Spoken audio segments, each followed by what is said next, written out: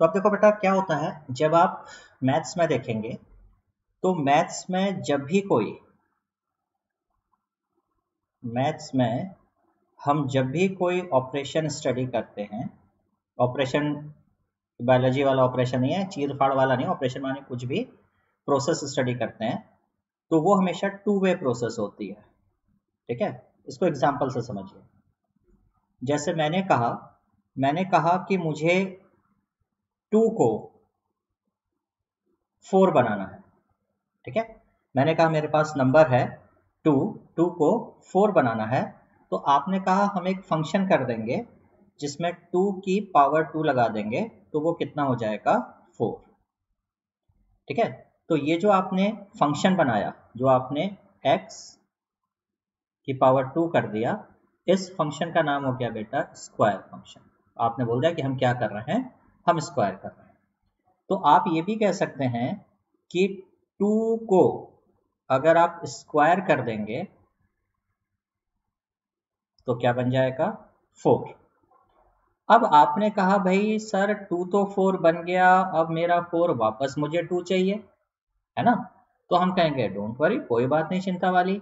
हम कहेंगे कि हम एक फ़ंक्शन डिज़ाइन कर देंगे स्क्वायर रूट मतलब स्क्वायर और स्क्वायर रूट इनवर्स फ़ंक्शन हो जाएँगे। तो अगर टू का स्क्वायर फोर है, ठीक है ना? तो फोर का स्क्वायर रूट वापस आपको क्या दे देगा? टू ठीक है? तो that means if x is y, then there is a function square root whose square root will give you x. This is the basic concept in mathematics. ठीक है? ये छोटी क्लासेस से भी हो रहा था। जैसे आपने कहा कि सर हमने फाइव में थ्री प्लस करके एट बना दिया। अब आपने कहा कि सर मेरे को तो मेरा एट वापस चाहिए। तो आपने कहा कि फाइव मैं प्लस थ्री कर दिया तो क्या बन गया एट तो हमने कहा तुमको तुम्हारा फाइव वापस चाहिए तो क्या कर लो? माइनस तो ये फ़ंक्शन क्या हो गया? एडिशन का और ये फ़ंक्शन क्या हो गया? सब्ट्रैक्शन का। तो आपको ये समझना है बेटा कि मैथ्स में जो भी फ़ंक्शंस आएँगे मैथ्स में जो भी चीज़ है आप पढ़ोगे, वो डुअल वे चलेंगे। एक और एग्जांपल से समझते हैं, चलो। आपने ट्रिग्नोमेट्रिक फ़ंक्शन की बात आई ठीक है? हमने ट्रिग्नोमेट्रिक फ़ंक्शन की बात करी। मेरे पास मान लीजिए थर्टी था डिग्री में। आपने कहा मुझे थर्टी को हाफ़ बनाना है। तो हमने कहा, ठीक है भाई फ़ंक्शन लगा दो कौन सा? साइन का फ़ंक्शन तो आप लोग कैसे लिखते हो? Sine thirty degree equals to one by two ठीक है?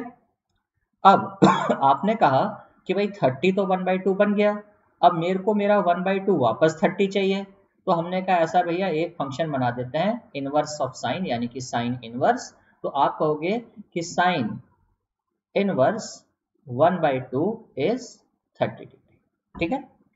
अब आप ध्यान से समझो। यहाँ पे बेटा बहुत ध्यान देना, क्योंकि मैंने आपको पहली क्लास में बताया था ना, एक पॉइंट आता है क्लास में जहाँ पे डिसरप्शन आता है, आपकी और मेरी कनेक्टिविटी जहाँ से खत्म हो सकती है। ठीक है? तो यहाँ पर थोड़ा सा, अब मैं चीज़ों को, क्योंकि एनालाइज करके आपको समझा रहा हूँ तो यहाँ पे बहुत थोड़ा सा फोकस रहना, देखो। अगर मैंने आपको बोला कि suppose cube of four is sixty four ठीक है? और अब मैं आपसे पूछता हूँ कि मुझे cube root of sixty four बताओ। तो अगर आपको क्यूब रूट सिक्सटी फोर नहीं भी आता है तो आप क्या सोचिए? आप सोचिए कि किसका क्यूब किसका क्यूब 64 होता होगा। क्योंकि जिसका क्यूब 64 होता होगा तो वही क्यूब रूट 64 का आंसर होता होगा। यानी कि आपको ड्यूअल में सोचने की ज़रूरत ही नहीं है। क्यूब और क्यूब रूट अगर आपको निकालने हैं तो अगर आपको सिर्फ़ क्यूब निकालना भी आता है तो भी आप क्यूब रूट निकाल सकते हैं। आप क्यूब रूट 64 डायरेक्टली मत निकालिए। आप ये सोचिए कि 64 किसका क्यूब होता होगा? तो आपने कहा 4 का क्यूब होता होगा। तो ये आंसर आपका कितना आ जाएगा? ये आंसर आपका 4 आ जाएगा। ठीक है ना? यानी कि अब मैं आपसे पूछता हूँ एक question sine inverse one by root two की वैल्यू कितनी होगी? बताइए फटाफट। Sine inverse one by root two की वैल्यू कितनी होगी? फटाफट बताइए।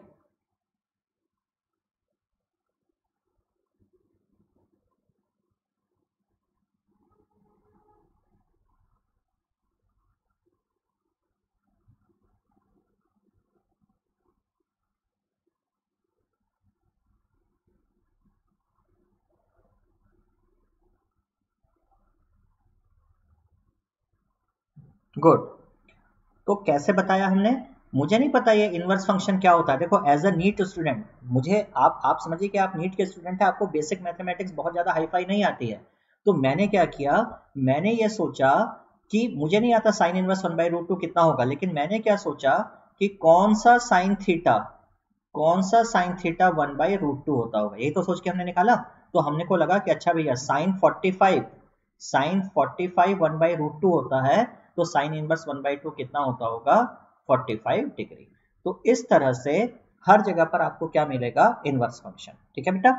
अब अगर मैं आपसे पूछूँ, अब अगर मैं आपसे पूछूँ कि हम ये निकालते हैं, देखो, ध्यान से देखो बेटा sine of sine inverse sorry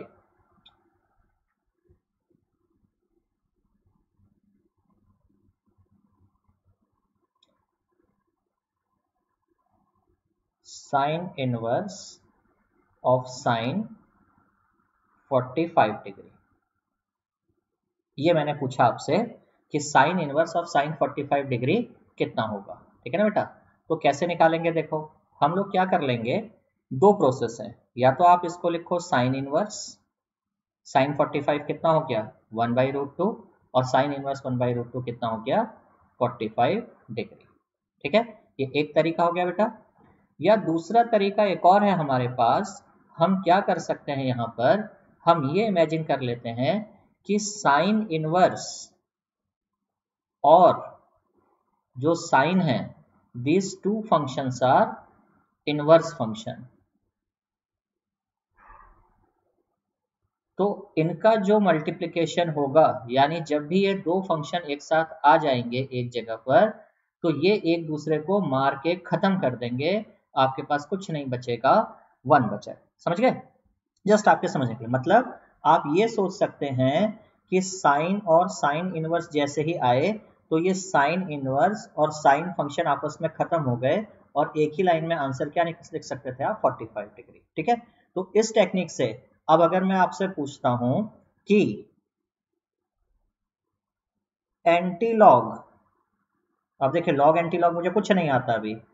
anti log of log 33 कितना होगा? बस मुझे नहीं पता लॉग क्या होता है, मुझे नहीं पता है एंटी लॉग क्या होगा। मुझे बस ये बताया गया कि लॉग और एंटी लॉग इनवर्स फ़ंक्शन होते हैं तो आप कहेंगे एंटी लॉग और लॉग खत्म कर देंगे और सिंपली आंसर कितना आ जाएगा? 33 ठीक है? तो now in the same way integration क्या है बेटा? In the same way integration is inverse process of differentiation ठीक है? मतलब अगर कोई एक फ़ंक्शन हमारे पास है x, जिसका डिफ्रेंशिएशन करने पर फ़ंक्शन बन जाता है gx ठीक है? तो जी एक्स का इंटीग्रेशन कर देंगे तो क्या मिल जाएगा? एफ़ एक्स ठीक है? इसको एग्ज़ाम्पल से समझ लेते हैं। बहुत ध्यान से देखना बेटा, क्योंकि है तो बहुत बेसिक चीज़ बट मैं बता रहा हूँ, आप पूरा दो साल सिर्फ़ इसीलिए परेशान रहोगे, नहीं तो इंटीग्रेशन में कहा क्या हो रहा है। अभी हमने बोला कि सपोज़ एक्स स्क्वायर का डिफ्रेंशिएशन होता है, मान लो टू एक्स एक्स स्क्वायर का डिफ्रेंशिएशन टू एक्स होता है तो टू एक्स का इंटीग्रेशन कितना होगा? एक्स स्क्वायर अगर एक्स स्क्वायर का डिफ्रेंशिएशन टू एक्स होता है तो टू एक्स का इंटीग्रेशन कितना होगा? एक्स स्क्वायर ठीक है? दैट मीन्स जैसा हमने बोला था ना, अगर थ्री का स्क्वायर इज़ नाइन तो square root of nine is three यानी, जैसे स्क्वायर और square root function inverse function थे। उसी तरीके से डिफ्रेंशिएशन और इंटीग्रेशन क्या है? इनवर्स फ़ंक्शन तो पॉइंट नंबर वन ये सबको क्लियर हो जाना चाहिए कि डिफ्रेंशिएशन क्या है बेटा? Differentiation is the inverse process of integration is the inverse process of differentiation या अगर आपने इंटीग्रेशन पहले पढ़ा है तो आप कह सकते हैं differentiation is the reverse process of integration अब हम क्या करेंगे? ये जो हम लैंग्वेज में बात कर रहे हैं, इसको हम लैंग्वेज चेंज करके मैथमेटिकल लैंग्वेज कर देंगे। चलो, एक चीज़ बताओ मेरे को तुम लोग। अगर मैं बोलूँ मैथमेटिक्स क्या है? What is mathematics do you know mathematics is language mathematics is language भाई लैंग्वेज क्या होती है? किसी भी चीज़ को डिस्क्राइब करने का तरीका, है ना? तो मैथमेटिक्स में क्या होता है? जैसे आपने बोला कि हमको two plus two plus two plus two करना था। तो देखो, कितनी बार टू लिखना पड़ा? फोर टाइम्स तो हमने एक नई लैंग्वेज बना दी, एक नया सिंबल बना दिया। हमने कहा, इसे चार बार टू नहीं लिखेंगे, इसे टू क्रॉस कह लो या इन टू कह लो या मल्टीप्लीकेशन कह लो तो ये एक नई लैंग्वेज हो गई कि two plus two plus two plus को क्या बोलना है? टू इंटू फोर बोलना है। समझ गए? तो अब हम क्या करेंगे? जो हमने पढ़ा उसको एक मैथमेटिकल लैंग्वेज में लिखने की कोशिश करते हैं। Suppose there is a function f x कुछ भी हो सकता है। लास्ट क्लास में बताया था हमने this can be x square this can be log x this can be sine log x square है ना? सिंपल फ़ंक्शन से लेकर कॉम्प्लिकेटेड तक कुछ भी हो सकता है। And we are saying differential coefficient of fx is suppose gx यानी suppose हम कह रहे हैं d upon d x of x square कितना होता है बच्चे? टू एक्स ठीक है? तो अब हम डी को यहाँ ले लेते हैं। और fx और gx dx को यहाँ कर देते हैं। ठीक है? ओके और अब हम एक फ़ंक्शन ले आते हैं अपना सिंबल इंटीग्रेशन वाला। जैसे डिफ्रेंशिएशन ठीक है ना? डिफ्रेंशिएशन का सिंबल क्या है? डी तो वैसे ही इंटीग्रेशन का सिंबल क्या होगा? ये। एक्चुअली ये क्या है बेटा? ये है एस ये जो लिखा जाता है, ये एस जैसा लिखता है हालाँकि मेडिकल के बच्चे को ये एस कम और इस तरह से एक सांप जैसा, कोबरा जैसा ज़्यादा दिखेगा, है ना? इंटीग्रेशन माने सांप भी कह सकते हो, एस से सांप, है ना? बट ये एक्चुअली सम्मेशन है। इंटीग्रेशन का जो मतलब होता है, वो क्या होता है? वो होता है सम्मेशन तो आप कुछ भी समझ सकते हो इंटीग्रेशन माने एस एस से सम्मेशन या एस से सांप, ठीक है? तो हमने क्या किया? ये इंटीग्रेट कर दिया जी एक्स को। अब क्योंकि डिफ्रेंशिएशन और इंटीग्रेशन, मैंने बोला कैसे फ़ंक्शन है ये? इनवर्स फ़ंक्शन है तो जैसे साइन इनवर्स जैसे साइन इनवर्स और साइन आके कुछ भी यहाँ पे कर दो x तो ये कैंसिल करके सिर्फ़ क्या रह जाता था x? वैसे ही जब ये इंटीग्रेशन और डिफ्रेंशिएशन आ जाएँगे तो सिर्फ़ क्या रह जाएगा एफ़ एक्स और आपको क्या मिल जाएगा कि integration of g x d x बराबर एफ़ एक्स ठीक है? क्लियर तो अब इसको वन शॉट में लिखते हैं। देखो, यहाँ पे लिख लेते हैं। D upon d x of f x is g x this implies integration of g x d x is f x यानी कि अगर अगर d upon d x of x square is two x then integration of 2x dx is x square. This is the meaning of integration. अगर x square का differentiation 2x है तो 2x dx का integration कितना हो जाएगा? X square तो this is the story of differentiation and integration ठीक है? अब हमको क्या करना है?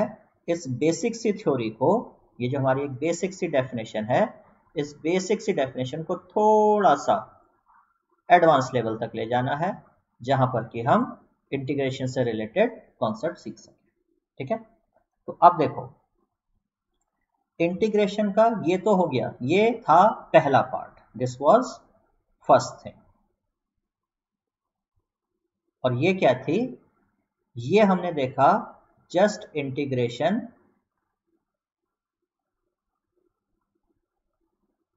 की कह सकते हैं हमने एक मैथमेटिकल डेफिनेशन देखी ये हमने क्या देख ली? इंटीग्रेशन की एक बस हमने क्या देखी? मैथमेटिकल डेफिनेशन ठीक है बेटा? अब हम क्या समझने की कोशिश करते हैं? अब हम इंटीग्रेशन का फ़िज़िकल मीनिंग समझने की कोशिश करते हैं। This is the most important part बेटा। अब हम क्या करेंगे? अब हम समझने की कोशिश करेंगे the physical meaning of integration वैसे भी आज की क्लास का टॉपिक का हेडिंग जो हेडलाइन है हेड, हेडिंग मैंने क्या डाली हुई है? इंटीग्रेशन बेसिक इंट्रोडक्शन ठीक है ना? एकदम आपको इंटीग्रेशन को समझ लेना है इंटीग्रेशन हमारा दुश्मन नहीं है इंटीग्रेशन को डिज़ाइन किया गया है बेटा हमारी मदद के लिए ठीक है? तो सबसे पहले अब आप ऐसे समझो कि मेरे पास एक इवेंट होता है इस इवेंट में एक कोई ऑब्जेक्ट है और वो मोशन स्टार्ट करती है और चलती जाती है ठीक है? कुल मिला के डेल्टा एक्स डिस्टेंस कवर करती है कितने टाइम में? डेल्टा टी टाइम में। ठीक है? अब ये जो मैं इवेंट को स्टडी कर रहा हूँ कि डेल्टा टी टाइम माने सपोज़ डेल्टा टी टाइम कितना है? दिस इज़ वन आवर तो ये वन आवर क्या गिना जाएगा बेटा? This will be considered as finite interval है ना? तो यहाँ पे जो आप इवेंट को स्टडी कर रहे हैं इवेंट को स्टडी कर रहे हैं किस पे? फाइनाइट टाइम इंटरवल पर। और अब हम आपको क्या बोलते हैं? मैं कहता हूँ कि नहीं, मुझे इवेंट को बहुत ही छोटे छोटे इंटरवल्स पे स्टडी करना है। यानी कि अगर आपसे किसी ने स्पीड पूछी तो आपने यहाँ पे एवरेज स्पीड निकाल के दे दी delta x upon delta t but अब क्या हो रहा है? अब हमसे बोला कि एवरेज नहीं, हमसे किसी पर्टिकुलर पॉइंट पॉइंट पे पूछा, इस पॉइंट पे हमसे पूछा। तो डिफ्रेंशिएशन का यूज़ ही हमने इसलिए किया था कि अगर हमारे पास कोई बड़ी स्टोरी है तो इस बड़ी स्टोरी को हम लोग छोटे टाइम फ्रेम पर डिवाइड कर देंगे, ये। और यहाँ से जो हमारा टाइम इंटरवल होगा, वो टेंडिंग टू ज़ीरो हो जाएगा। तो अब फिर से हम स्पीड निकालेंगे एवरेज लेकिन अब क्योंकि ये एवरेज स्पीड छोटे टाइम इंटरवल पे निकाली है तो इसी को आप क्या कह सकते हो? इंस्टेंटेनियस स्पीड जो कि अभी भी क्या है? Delta x upon delta t delta t tending to zero जिसे आपने क्या लिखा था? D x upon d t ठीक है? ये था डिफ्रेंशिएशन यानी डिफ्रेंशिएशन में क्या होता है? आपको एक बड़ी स्टोरी को, आपको एक बड़ी स्टोरी को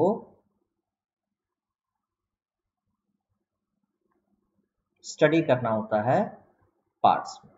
You have to study a larger story in smaller smaller parts. ठीक है?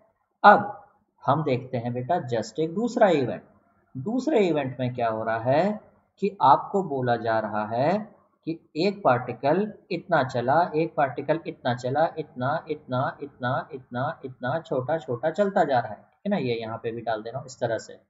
ये ये सब क्या है? ये। अब इस बार क्या है इस बार आपको कहानी का पूरा हिस्सा नहीं बताया जा रहा है। आपको कहानी टुकड़ों में दी जा रही है। आपसे कह रहा है, इतना चला इतना चला इतना चला। और आपसे पूछ रहा है, टोटल कितना चला? टोटल डिस्टेंस कितनी चली? ठीक है? तो इस बार सपोज़ एक पार्टिकल चल रहा था कितनी स्पीड से? V1 से स्टार्ट किया। थोड़ी देर बाद उसकी स्पीड हो जाती है वी टू थोड़ी देर बाद हो जाती है वी थ्री फिर हो जाती है वी फोर फिर हो जाती है v five for the time interval T1 T2 T3 T4 T5 इस तरह से. तो बेसिकली ये डिस्टेंस हमको दे रखी है, फिर हमको बोल रखा है ये डिस्टेंस दे रखी है. तो आपसे बोलेगा टोटल डिस्टेंस कितनी चला तो आप कर सकते हैं क्या? इसको x1 कर लीजिए. ये हो गया x1 इसको कर लीजिए x2 x3 x4 x5 तो टोटल डिस्टेंस कितनी हो गई? X1 plus x two plus x three plus x four plus x five अगर और होते तो और कर लेते। X1 को क्या लिखते? V1 t1 v2 t2 बल्कि इसको डेल्टा लिख लीजिए क्योंकि टाइम इंटरवल है। Plus v3 delta t3 plus v4 delta t4 and so on यही लिखते ना? अगर एन तक होता तो आप एन तक चले जाते, है कि नहीं? तो अब टोटल डिस्टेंस निकालने के लिए सबसे पहली बात, अगर मैं आपको बोलूँ कि टोटल डिस्टेंस कितनी हुई तो आप बोलोगे सर टोटल डिस्टेंस हो गई v one delta t one plus v two delta t two and dot dot dot dot suppose आपको एनथ इंटरवल तक दे रखा होता तो आप ये लिख लो। फिर हमने बोला मैथमेटिक्स लैंग्वेज है, इतना बड़ा हम नहीं लिखना चाहते, इतना बड़ा नहीं लिखना चाहते हैं। तो हमने क्या किया?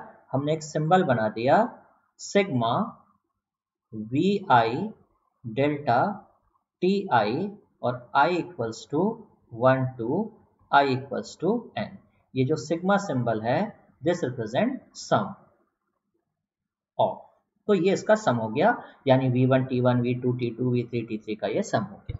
ठीक है? ओके बट अब अगर हमारे टाइम इंटरवल ज़ीरो को अप्रोच करते जाएँ और हमारा जो एन है, वो इन्फिनिटी को अप्रोच करता जाए तो आप इसको क्या लिखते? Sigma v i delta t i और i equals to one to i equals to infinity और साथ में कंडीशन आप एक लगा लेते कि delta t is tending to zero. तो अगर ये कंडीशन हो जाती है तो इसी समेशन का साइन बेटा हम बदल देंगे और इसको सिग्मा से एस कर देंगे और ये क्या हो जाएगा? वी डी टी क्योंकि delta t tending to zero को अब आप क्या लिख सकते हो? Delta t tending to zero को क्या लिख सकते हो? डी टी तो यही सम यानी कि जब आपको सम करना होगा कहाँ तक? जब आपको सीरीज़ में इनफाइनाइट टर्म्स होने लगेंगे और आपको जोड़ना होगा तो उसके लिए हम सिग्मा की जगह क्या कर देंगे? इंटीग्रेशन का साइन यानी कि एस का साइन ठीक है? अब, फिर यहाँ पर दो प्रॉब्लम है। जैसे वापस इस क्वेश्चन पर आते हैं, और मैं कहता हूँ कि ये पार्टिकल इस तरह से चलता जा रहा है, यानी एक पार्टिकल की स्पीड इस तरह से वेरी कर रही है फाइव मीटर पर सेकेंड एक पार्टिकल कॉन्स्टेंट स्पीड से चला। ध्यान से सुनिए। क्वेश्चन को ध्यान से सुनिए बेटा। A particle is moving with constant speed v is equal to five metre per second find the distance travelled by the particle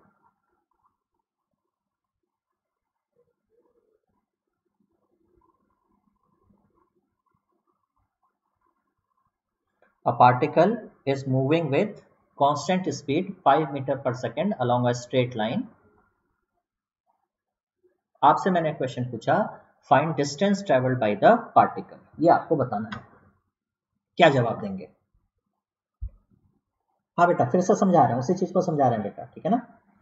मेरा क्वेश्चन है अ पार्टिकल पहले मुझे सवाल का जवाब दो। A particle is moving a particle is moving with 5 metre per second in a straight line find the distance travelled by the particle क्या जवाब दोगे?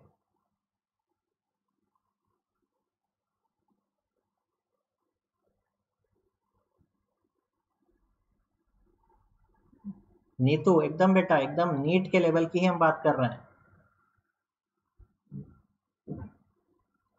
Particle is moving with 5 metre per second along a straight line हाँ श्री राम एकदम सही। आप कहोगे, sir, ये चलता रहेगा, ऐसे तो अगर ये लाइफ टाइम चलता रहेगा, अगर ये लाइफ टाइम चलता रहेगा, तब तो ये इनफाइनाइट डिस्टेंस ट्रेवल कर लेगा। तो आप हमको बाउंड्रीज बताइए टाइम की। द क्वेश्चन इज़ आप हमको बाउंड्रीज बताइए टाइम की कि कितने टाइम से इनिशियल से एक हमको लिमिट दीजिए कि, sir zero to five second में कितना चलेगा? एकदम सही। हाँ सिया हाँ हाँ सिया देखो। बेटा, मैंने तो टी भी नहीं बोला ना, बस मैंने तो ऐसे ही बोला, हवा में find the distance travel by the particle तो वही तो बात आ गई, आपने फाइव टी बोला मतलब टाइम ज़रूरी है। ठीक, R N Rathore twenty five कैसे बोल दिया बेटा? फाइव मीटर पर सेकंड से कोई चल रहा हाँ five into t but time तो जब मैंने टाइम दिया, इसका मतलब मेरा क्वेश्चन क्या होना चाहिए था? Find the distance travelled by the particle in time t ये क्वेश्चन होना चाहिए था ना? तो ये तो मैं खा गया था। कहने का मतलब ये कि अगर पार्टिकल चलता रहेगा चलता रहेगा लाइफ टाइम चलता रहेगा तो वो इनफाइनाइट डिस्टेंस ट्रेवल कर लेगा। तो what I need is the exact boundaries of time मुझे बताना पड़ेगा distance travelled by the particle from 0 to 2 second distance travel particle in the fifth second fifth second का मतलब तो समझते हो ना? 4 to 5 second uh, distance traveled by the particle from 10 to 15 seconds. ठीक है? तो what I need? I need a time interval और I need a boundary तो इस तरह का जो इंटीग्रेशन आप करेंगे, इस तरह के इंटीग्रेशन में आप सम तो कर रहे हैं, लेकिन आप कहाँ से कहाँ तक सम कर रहे हैं? दिस इज़ नॉट मैंशन तो this is called as indefinite integration this is called as indefinite इसका कुछ अता पता ही नहीं है। भाई, एक पार्टिकल वी स्पीड से चल रहा था ठीक है ना? सपोज़ वेरिएबल स्पीड दे दी, देखिए क्वेश्चन समझिए क्वेश्चन क्या है? अब पार्टिकल की स्पीड आपको दे दी, भाई फाइव मीटर पर सेकेंड ठीक है ना? और ये चलता जा रहा है तो अगर आप d t d t interval ले लेंगे तो इस इंटरवल में कितना चलेगा? फाइव डी टी फिर अगले इंटरवल में कितना चलेगा? फाइव डी टी फिर अगले इंटरवल में कितना चलेगा? फाइव डी टी ऐसे आप कब तक जोड़ते रहेंगे? मेंशन ही नहीं है। तो आप आप किसको जोड़ रहे हैं? इंटीग्रेशन का मतलब आप बार बार v one d t one v two d t one यहाँ पे तो क्या हो रहा है? यहाँ पे तो सारे वी वन सेम हो गए। V one v two v three सब यहाँ पर सेम है। वरना एग्जैक्टली आप क्या कर रहे हैं? एग्जैक्टली आप यही तो कर रहे हैं। V one into delta t plus v two into delta t plus v three into delta t इस तरह से आप ऐड करते जा रहे हैं। तो अगर आप इस तरह से ऐड करेंगे तो आपके पास कोई बाउंड्रीज ही नहीं है। तो ये इंटीग्रेशन क्या कहलाएगा? ये इंटीग्रेशन कहलाएगा इनडेफिनेट इंटीग्रेशन और प्रैक्टिकल पर्पज में देखेंगे तो प्रैक्टिकली ये हमारे लिए कम यूजफुल है। बट ये बेसिक है, यहीं से देखो जो भी निकलेगा निकलेगा यहीं से। बट प्रैक्टिकली इसका यूज़ हम कम करेंगे, क्योंकि इससे कोई भी रिज़ल्ट नहीं निकल सकता। इससे रिज़ल्ट नहीं आएगा।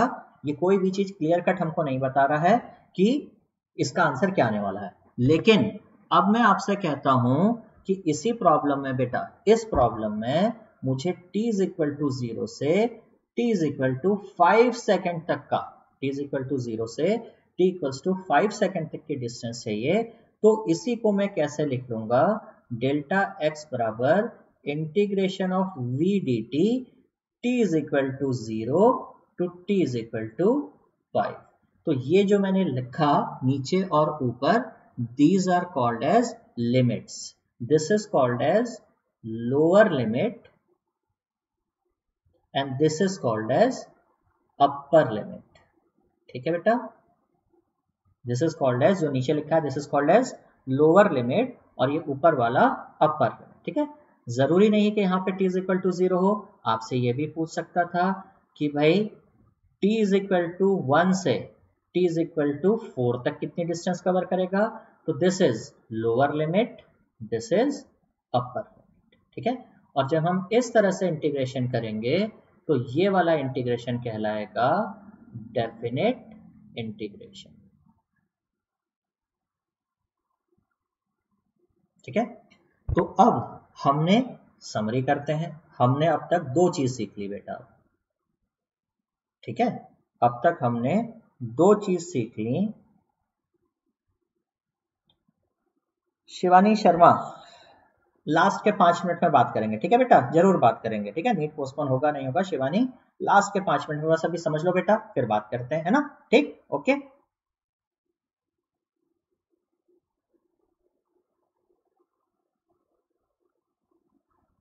तो समरी यह है इंटीग्रेशन को हमने अब दो तरह से देख लिया। पहला the inverse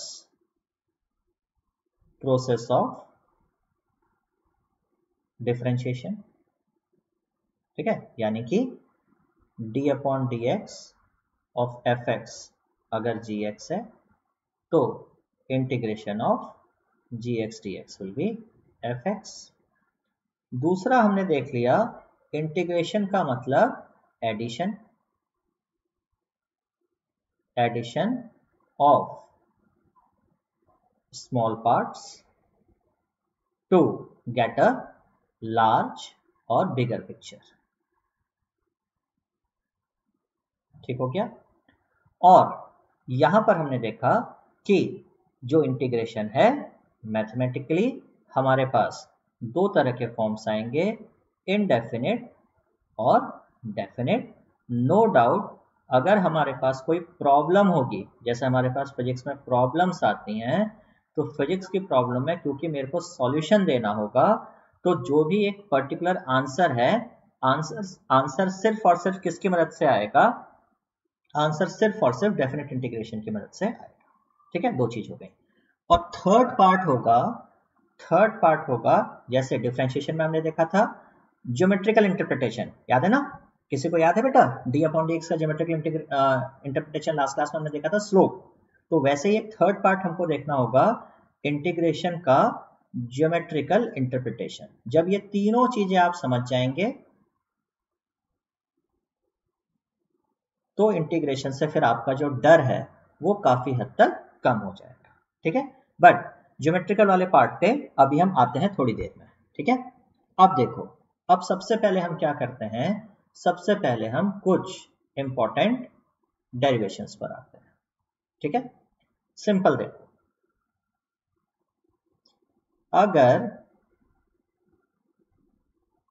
d upon d x of sine x is cos x, then integration of cos x dx will be sin x.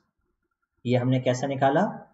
ये हमने बेसिक डेफिनेशन से बता दिया। यही मैंने आपको बोला था। अगर किसी फ़ंक्शन a का डिफरेंशिएशन बी है तो बी का इंटीग्रेशन क्या होगा? ए होगा, ठीक है? अब इसको याद कर लोगे बेटा तो ये बन जाएगा इंटीग्रेशन का फॉर्मूला, ठीक है? अब इसी तरह से अगर d upon d x of cos x is minus sine x तो आप बोलेंगे, या इसको ये भी कह सकते हो, आप इसको ये भी बोल सकते हो d upon d x of minus cos x will be sine x है ना? अगर कॉस एक्स का डिफ्रेंशिएशन साइन एक्स है तो माइनस कॉस एक्स का डिफ्रेंशिएशन क्या हो जाएगा? साइन एक्स है ना? तो आप कहोगे साइन एक्स एक्स का इंटीग्रेशन क्या हो जाएगा?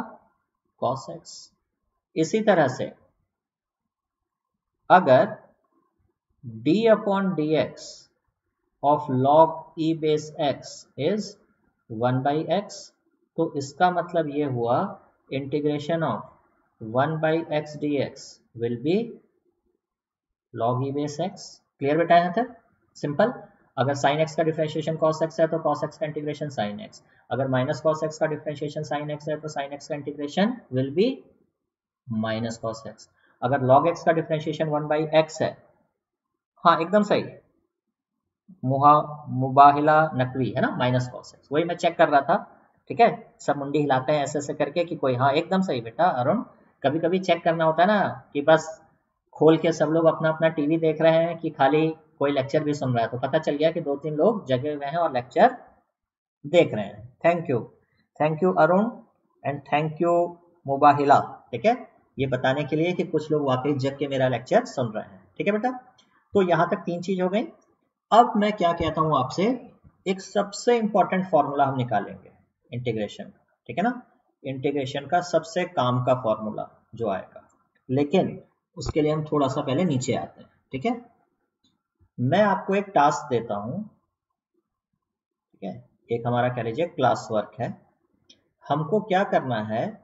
हमको निकालना है d upon d x of x to the power n plus one upon n plus one ऐसे ही मैंने आपको एक टास्क दिया कि हमको ये निकालना है, ठीक है? तो क्या होगा? कोफिशियंट सॉरी पावर कोफिशियंट बन के बाहर आ जाएगा, ठीक है? पावर एक से कम हो जाती है तो n plus one minus one क्या रह जाएगा? n और नीचे क्या है? n plus one n plus one n plus one cancel कर जाएगा और ये कितना आ जाएगा? X to the power n. इसका मतलब ये हो गया कि d upon d x of x to the power n plus one upon n plus one कितना होता है? x to the power n. इसका मतलब integration of x to the power n dx कितना होगा? x to the power n plus one upon n plus one ठीक है? तो यहाँ पे अपना फाइनल फॉर्मूला लिख लें। सबसे इंपॉर्टेंट वाला, क्योंकि इसका सबसे ज़्यादा रोल है। सबसे ज़्यादा जो काम आएगा, यही फॉर्मूला आएगा। d upon d x of x to the power n plus one upon n plus one is कितना आ रहा है? X to the power n इसलिए x to the power n d x कितना होगा? X to the power n plus one upon n plus one ठीक है? तो ये सबसे काम का फॉर्मूला है आपका। काम का मतलब ये सबसे ज़्यादा हम लोग यूज़ करते हैं एक्चुअली है ना? जब हम लोग फिजिक्स पढ़ेंगे काइनेमेटिक्स पढ़ेंगे या स्प्रिंग पढ़ेंगे कुछ भी पढ़ेंगे तो ये वाला क्योंकि ऐसा ऐसा नहीं कि बाकी सब बेकार हैं या काम नहीं आएँगे ये भी बहुत काम आएगा ठीक है ना? ये भी कई जगह पे काम आएगा खास तौर पे जहाँ पर आ, आप लोग तो ट्वेल्थ की हो तो केमिकल काइनेटिक्स केमिस्ट्री में पढ़ोगे। फ़र्स्ट ऑर्डर रिएक्शन या रेडियो एक्टिविटी आएगी वहाँ पे इस फॉर्मूले का बहुत यूज़ है, ठीक है ना? तो फ़िलहाल ये हो गया। लेकिन बेटा अब यहाँ पर एक चीज़ ध्यान देना। जब हम जब हम डिफ्रेंशिएशन करते थे तो डिफ्रेंशिएशन करते वक्त सिर्फ़ न्यूमरेटर में टर्म्स आता था n x to the power n minus one ठीक है ना? यानी कि ये फॉर्मूला एन की ऑल वैल्यूज़ पर काम करेगा, जो रियल होंगे ना, अगर रियल नंबर है, कोई भी ले लो। मतलब एन वन हो सकता था एन ज़ीरो हो सकता था एन माइनस वन हो सकता था n minus one by two हो जाएगा n sixty six by seventy seven कुछ भी लिख लो। मतलब देयर इज़ नो एक्सेप्शन ठीक है?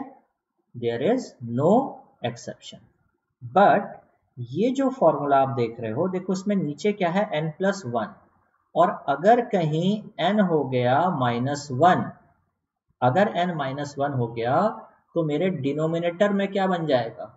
मेरा डिनोमिनेटर बन जाएगा ज़ीरो और हम सबको पता है कि जो p बाई ज़ीरो की फॉर्म्स होती हैं, p बाई ज़ीरो की फॉर्म्स मैथमेटिक्स में दे आर नॉट डिफाइंड है ना? कई बार आप लोग इसको इंफिनिटी टाइप का कोई सिंबल दे देते हो but these are actually not defined ठीक है? Okay so p by zero की फॉर्म्स जो है वो नॉट डिफाइंड है तो इसका मतलब इस फॉर्मूले में एक लिमिटेशन है। इस फॉर्मूले का लिमिटेशन क्या है कि n क्या नहीं हो सकता? n को माइनस वन नहीं होना है। और इस पे लगा लो सितारा। कितना सितारा? सेवन स्टार दे दो one two three four five six seven ठीक है बेटा? तो ये चीज़ कभी मत भूलना कि डिफ्रेंशिएशन वाला फॉर्मूला डिफ्रेंशिएशन वाले फॉर्मूले में कोई लिमिट नहीं है, कोई एक्सेप्शन नहीं, कोई कंडीशन नहीं है बट इंटीग्रेशन वाले फॉर्मूले में आपको समझना पड़ेगा कि n को माइनस वन नहीं हो सकता। ठीक है? आगे बात समझ में? अब अगर n माइनस वन हो ही जाए तो क्या करना है? इसको भी समझ लो। तो अगर n माइनस वन है तो इसका मतलब आप करोगे x की पावर माइनस वन डी यानी कि वन बाई एक्स डी का इंटीग्रेशन और चलो ऊपर थोड़ा सा ये देखो बेटा, ये क्या है? यहाँ पर आ गया, ये देखो वन बाई एक्स डी का क्या है इंटीग्रेशन लॉग एक्स तो यहाँ पर आपको एक नोट मेंशन करना पड़ेगा कि integration of f x x की पावर एन डी एक्स का, यहाँ पे अब हम कंप्लीट वर्जन कर देते हैं। Integration of x to the power n d x के दो वर्जन होंगे। When n equals to minus 1 and when n is not equal to minus 1 अगर n माइनस वन नहीं है तो एकदम डंके की चोट पर क्या यूज़ करेंगे? ये। लेकिन अगर n माइनस वन है तो ये क्या हो जाएगा? Log e बेस x तो ये हो गया आपका कंप्लीट फॉर्मूला नंबर फोर ठीक है? तो ये बिल्कुल ध्यान में रखना है कि अगर इंटीग्रेशन जब आप यूज़ कर रहे हैं तो इसका जो पैरल डिफ्रेंशिएशन का फॉर्मूला होने वाला था डिफ्रेंशिएशन में d upon d x of x की पावर एन को जब आप यूज़ करते हो तो सिर्फ़ सिंगल एक्सप्रेशन मिलता है n x to the power n minus one और इसमें कोई इफ़ एंड बट नहीं होता है। बट इंटीग्रेशन वाले फॉर्मूले में आपको दो केसेस देखने पड़ेंगे जो बेसिक आपका एक्स टू दावर एन का है। ठीक है ना? उसमें। ठीक है? ओके ठीक अब देखो बेटा, अभी इंटीग्रेशन में एक समस्या और ये इंटीग्रेशन इसीलिए आपको परेशान करता है ना, क्योंकि थोड़ा सा डिफ्रेंशिएशन बड़ा स्ट्रेट फॉरवर्ड चला जाता है ना। अब, एक तो इंटीग्रेशन में पहले ही झमेला था इनडेफ अभी हमने कौन सा देखा? अगर मैं पूछा, अभी हमने इनडेफिनेट पढ़ा कि डेफिनेट पढ़ा? अब ये सब जो फॉर्मूले हमने पढ़े, ये सारे फॉर्मूले किसके हैं? इनडेफिनेट के। क्योंकि अभी हम इनको प्रॉब्लम में यूज़ नहीं कर रहे हैं सिर्फ़ फॉर्मूला है। डेफिनेट का यूज़ मैं बार बार कर रहा हूँ। जब प्रॉब्लम सॉल्व करेंगे तो सिर्फ़ और सिर्फ़ कौन सा यूज़ होगा? डेफिनेट इंटीग्रेशन का फॉर्मूला यूज़ होगा। ठीक है? अब दूसरी प्रॉब्लम समझो इंटीग्रेशन की। There is one more issue in integration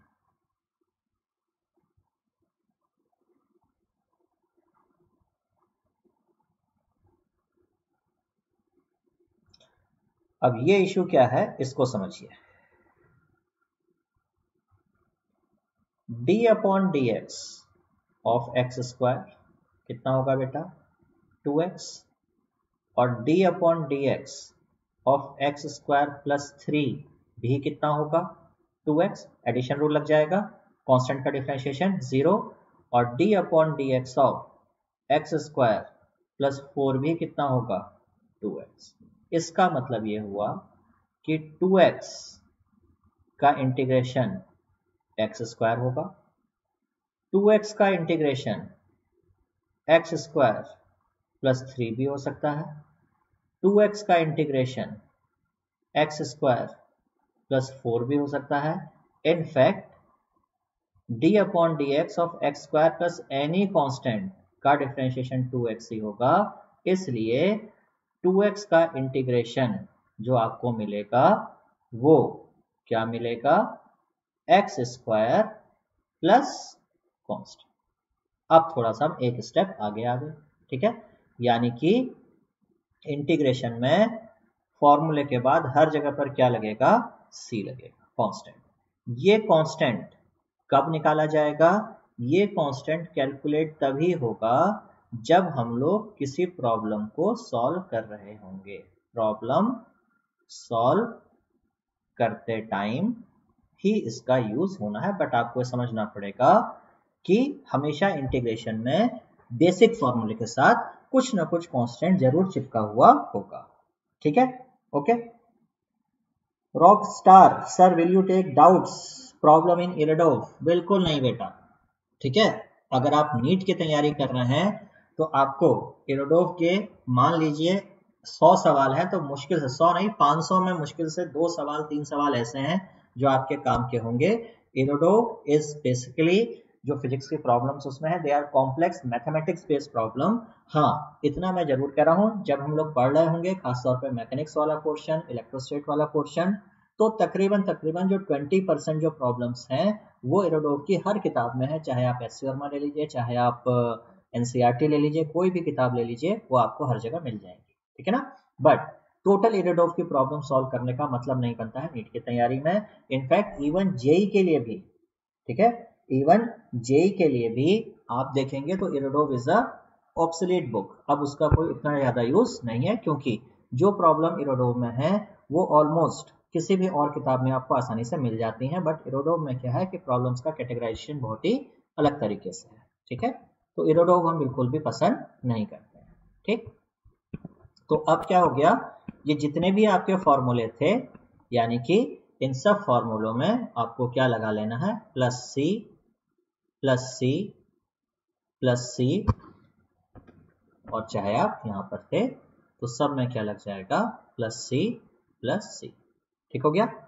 तो ये आपका आ गया। हाँ बेटा, लोग लास्ट में हम बुक सजेस्ट कर देंगे, ठीक है? अब नेक्स्ट हम आते हैं थर्ड पार्ट पे, जो हम बोल रहे थे डेफिनेट इंटीग्रेशन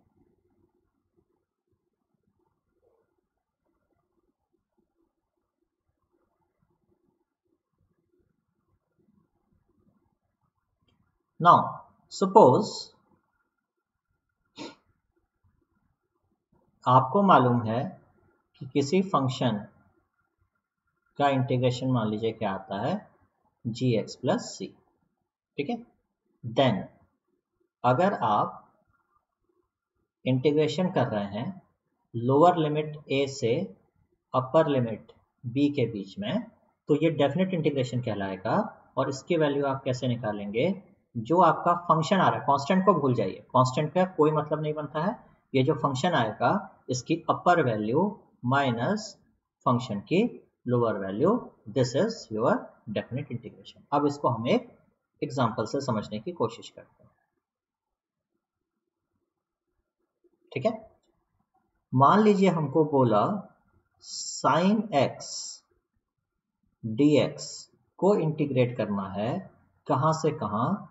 ज़ीरो से लेके 90 डिग्री के बीच ठीक है?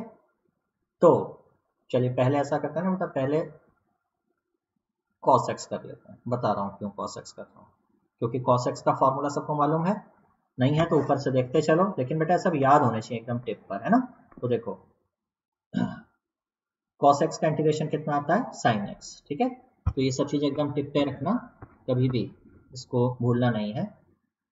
तो ये आपका हो जाएगा साइन एक्स और लिमिट कहाँ से कहाँ? जो x है ज़ीरो से x कहाँ तक जाएगा? 90 तक। तो आप क्या कर लोगे?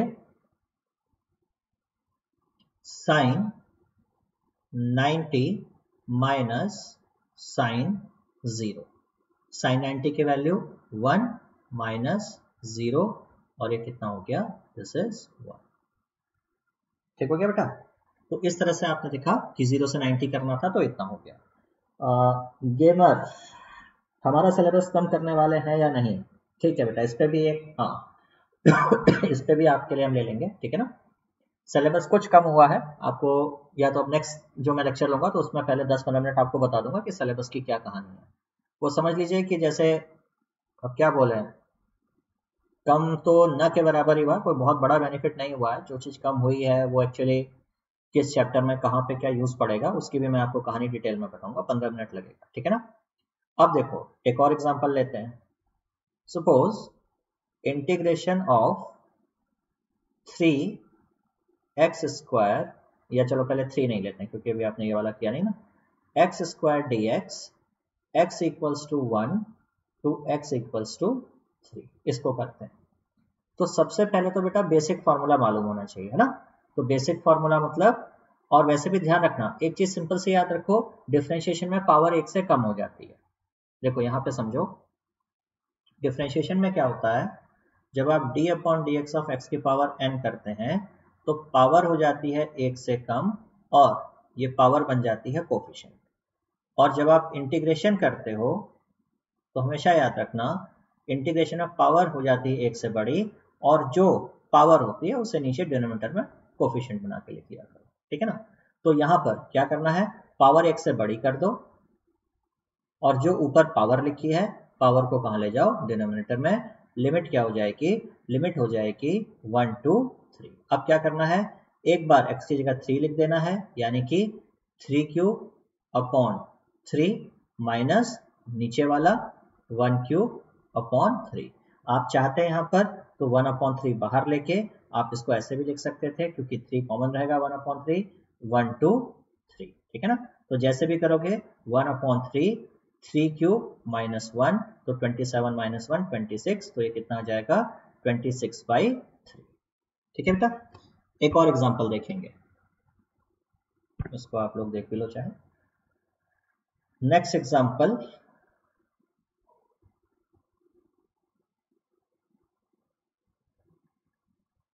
integration of one upon x square dx ठीक है?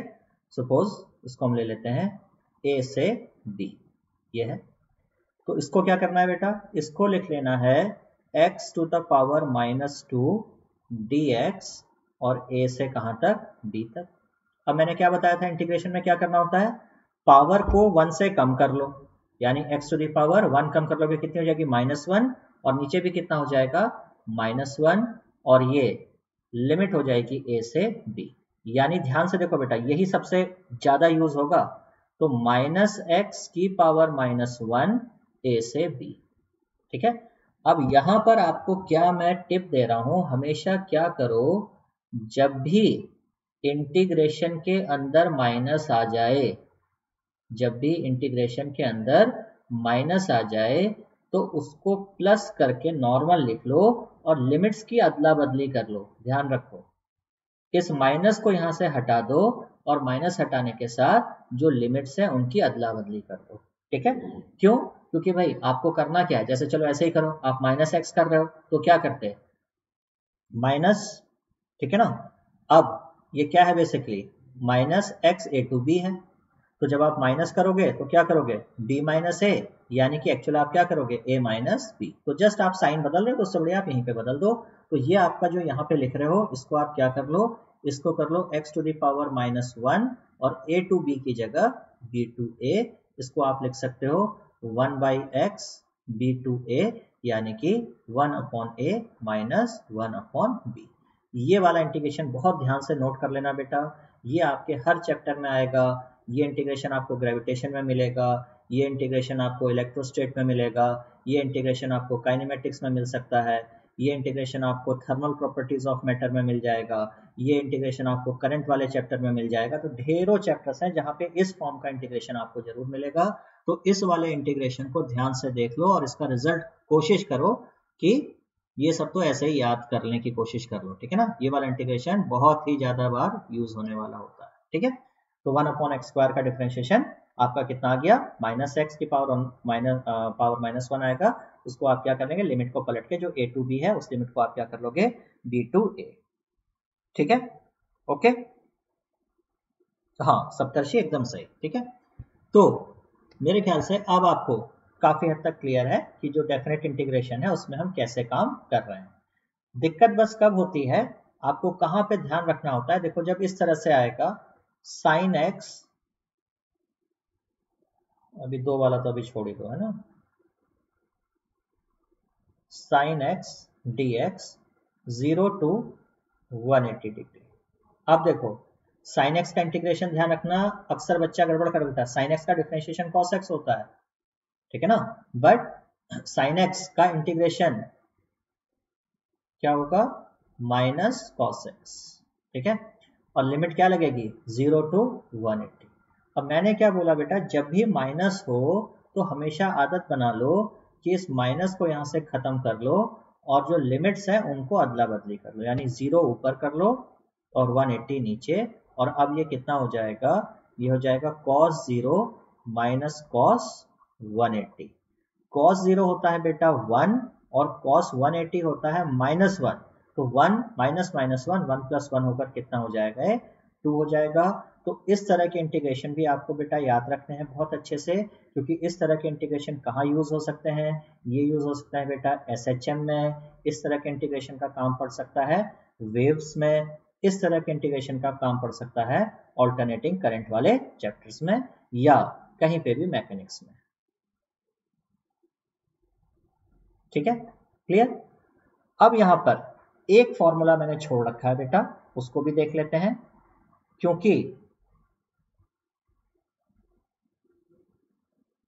इसलिए integration of e x d x वापस क्या हो जाएगा? ई एक्स तो ये आप कह सकते हो कि this will be our formula number five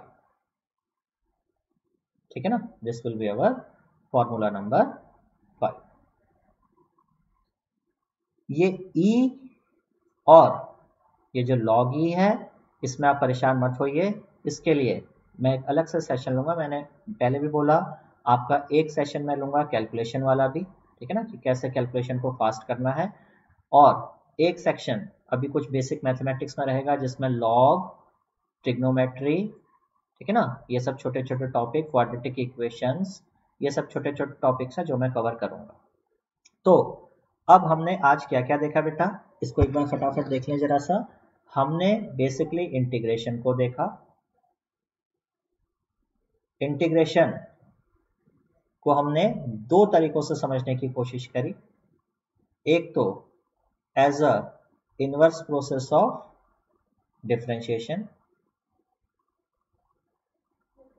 दूसरा एज अ समेशन प्रोसेस यानी कि सबसे इंपॉर्टेंट एग्जांपल याद रखना, अगर एक पार्टिकल वी वेलोसिटी से चल रहा होगा तो ये कितनी डिस्टेंस ट्रेवल करेगा? इंटीग्रेशन ऑफ़ v dt ये हमने सीखा। ना? अगर छोटे छोटे इंटरवल निकालोगे तो दिस इज़ समेशन प्रोसेस हम बार बार v d t v d t v d t v d t को ऐड करते चलते हैं। फिर हमने देखा कुछ इंपॉर्टेंट फॉर्मूला जो कि बेसिक डेफिनेशन से निकल आए थे। दूसरा हमने देखा इनडेफिनेट इंटीग्रेशन और डेफिनेट इंटीग्रेशन क्या चीज़ है? ठीक है? तो डेफिनेट इंटीग्रेशन का मतलब अगर integration of f x d x मान लीजिए जी एक्स प्लस कॉन्स्टेंट कुछ आ रहा है तो integration of f x d x limit a to b का मतलब क्या है? आप अपर लिमिट की वैल्यू माइनस लोअर लिमिट की वैल्यू कर देंगे, ठीक है? तो ये कुल मिला के आज की क्लास में आपने देखा है, ठीक है? ओके ठीक? चलिए, अब सेकेंडली जो हमारे पास इंपॉर्टेंट फॉर्मूले आए, ठीक है ना? चार पाँच हमारे पास फॉर्मूले हैं। क्या इंटीग्रेशन के इतने ही फॉर्मूले होंगे? नहीं इंटीग्रेशन के इससे ज़्यादा फॉर्मूले भी हो सकते हैं, लेकिन मैंने बताया, पहले अगर ये पाँच छह फॉर्मूले आप डिफ्रेंशिएशन के साइड के और पाँच छह फॉर्मूले आप इंटीग्रेशन के साइड के कर लेते हैं तो आपका काम वहाँ से निकल जाएगा। कुछ बेसिक रूल्स देख लीजिए। इंटीग्रेशन जैसे सपोज़ करिए कोई नंबर है। डिफ्रेंशिएशन ऑफ़ कांस्टेंट कितना हो जाता था? डिफ्रेंशिएशन ऑफ़ कांस्टेंट हो जाता था ज़ीरो ठीक है ना? लेकिन अब अगर मैं आपसे बोलूँ इंटीग्रेशन ऑफ़ फाइव dx या इंटीग्रेशन ऑफ़ सिर्फ़ dx कितना होगा? तो dx का मतलब वन लिख सकते हैं। इसको आप क्या लिख लीजिए? x की पावर ज़ीरो इंटू डी ठीक है? अब आपको क्या करना होता था?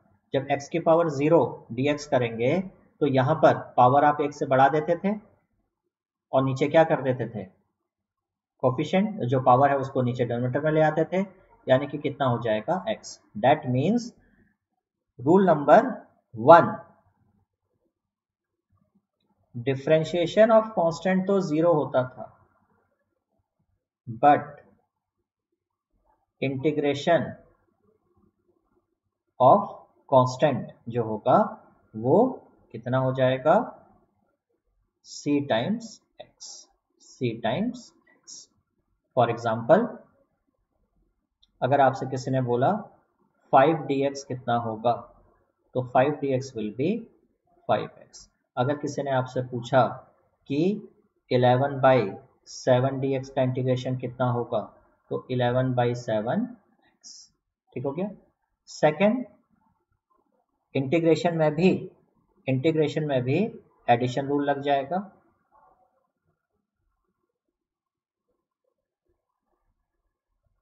मतलब अगर आपके पास इंटीग्रेशन इस तरह से आ रहा है f x plus g x d x के फॉर्म का तो आप उसको अलग अलग कर लीजिए। एफ़ एक्स डी एक्स का इंटीग्रेशन अलग कर लीजिए और जी एक्स डी एक्स का इंटीग्रेशन अलग कर ठीक है? तीसरा इंटीग्रेशन में कोई नॉर्मल मल्टीप्लिकेशन रूल काम नहीं करेगा। मल्टीप्लिकेशन रूल इंटीग्रेशन में काम नहीं करेगा। ठीक है? मल्टीप्लिकेशन रूल जैसे हमने देखा था डिफ्रेंशिएशन में आपके पास क्या आ जाता था? D upon x of f x g x जब आप करते थे तो first function differentiation of second function plus second function differentiation of first function but इस तरह का कोई मल्टीप्लिकेशन वाला रूल इंटीग्रेशन में काम नहीं करेगा ठीक है? अब ये हमारी तीन चीज़ हो गई इंटीग्रेशन में। अब हम ये समझने की कोशिश करते हैं कि अगर मैं आपको कहता हूँ कि ये एक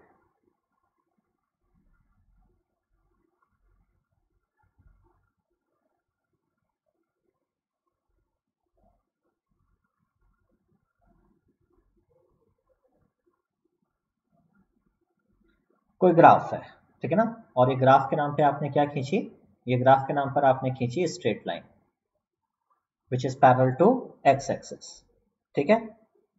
अब, ये लाइन एग्जिस्ट करती है सपोज़ यहाँ से लेकर सपोज़ ये x इक्वल्स टू वन से लेकर एक्स इक्वल्स टू फोर तक, और ये आपका y यहाँ पे ज़ीरो है, और suppose this y is five और मैं आपसे पूछूँ what is the area under the line over x axis यानी कि जो लाइन एक्स एक्सिस पर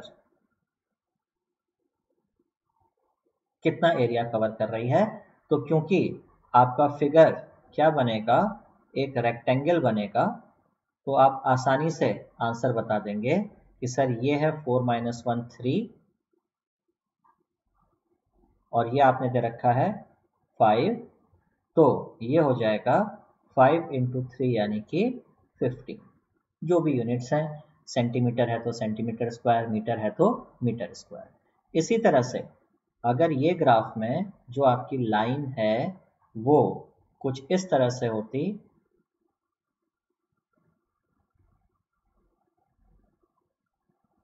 और आपसे पूछते कि इस लाइन का अंदर एरिया बताओ जो एक्स एक्स में, तब भी आप बता देते क्योंकि अब ये क्या बन जाता एरिया ऑफ़ ट्राइंगल ठीक है? या अगर अगर ये लाइन कुछ इस तरह से होती,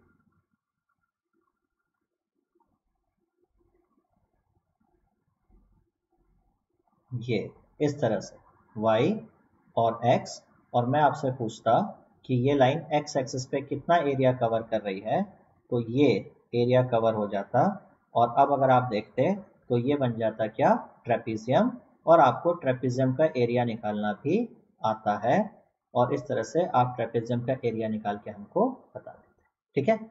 बट इन तीनों चीज़ में क्या था? रेक्टेंगल ट्राइंगल और ट्रेपिजियम में कि इनका फॉर्मूला आपको याद था। क्यों याद था? क्योंकि जब आप छोटी क्लासेस में थे, जब आप six seventh eight nine tenth कहीं भी रहे तो ये सारे फॉर्मूले आपको बता दिए गए थे। ठीक है ना? तो ये आपने बहुत छोटी एज से याद करके रखे हुए हैं, इसलिए आपको इनको बताने में कोई दिक्कत नहीं होती है। सर्किल का एरिया भी आपको मालूम है, ठीक है ना? पाई आर स्क्वायर तो बहुत सारे फॉर्मूले आप याद करके बैठे लेकिन अब क्या होता है बेटा? अब मान लीजिए, मैं फिर आपको एक ग्राफ देता हूँ।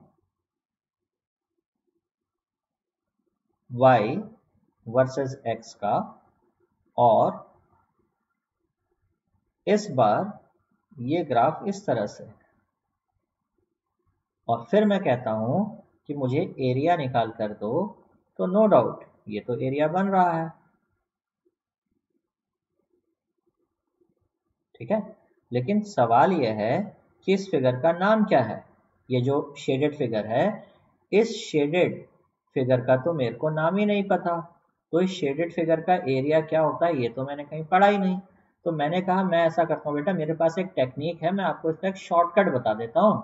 शॉर्टकट क्या है? मैं कहता हूँ कि आप इस तरह से दो रेक्टेंगल बना लो, एक ये बना लो और एक ये बना लो। ठीक है? अब देखो, ये एक रेक्टेंगल हो गया और ये दूसरा रेक्टेंगल हो गया। इसको बोल दो। रेक्टेंगल वन इसको बोल दो रेक्टेंगल वन और इसको बोल दो रेक्टेंगल टू मैंने कहा, कितना सिंपल हो गया।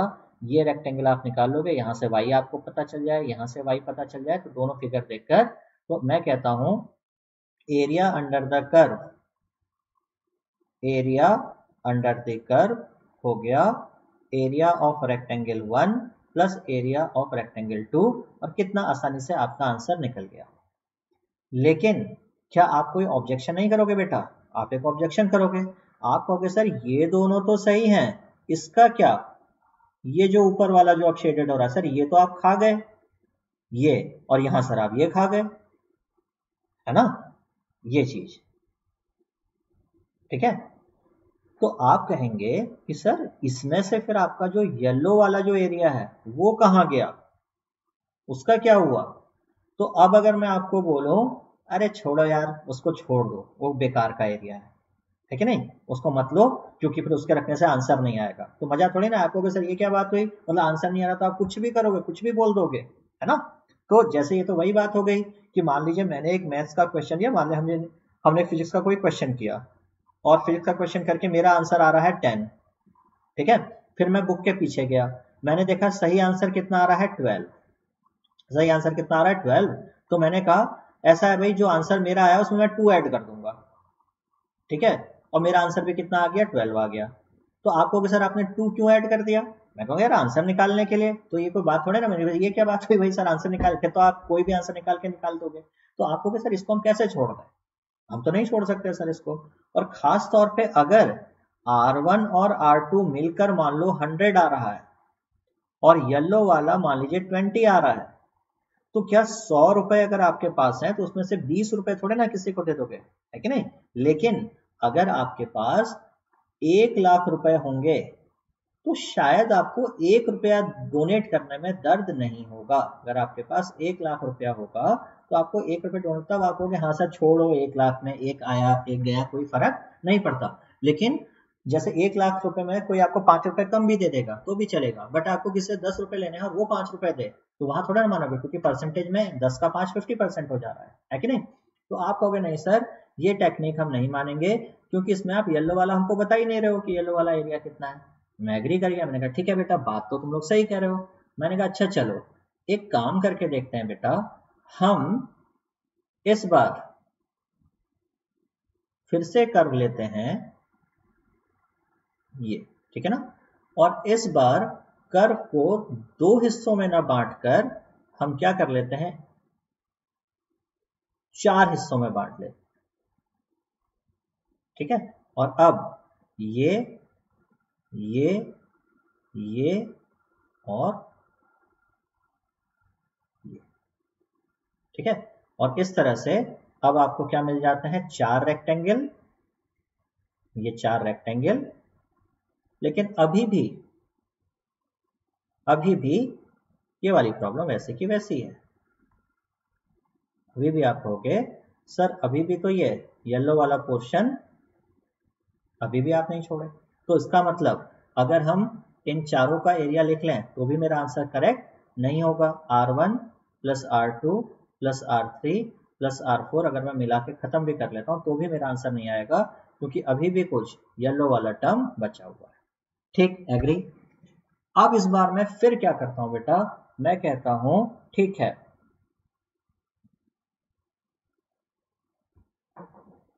फिर से हम ये कर लेते हैं, और इस बार मैं कहता हूँ कि इसको और पार्ट्स में डिवाइड करते हैं, चलो।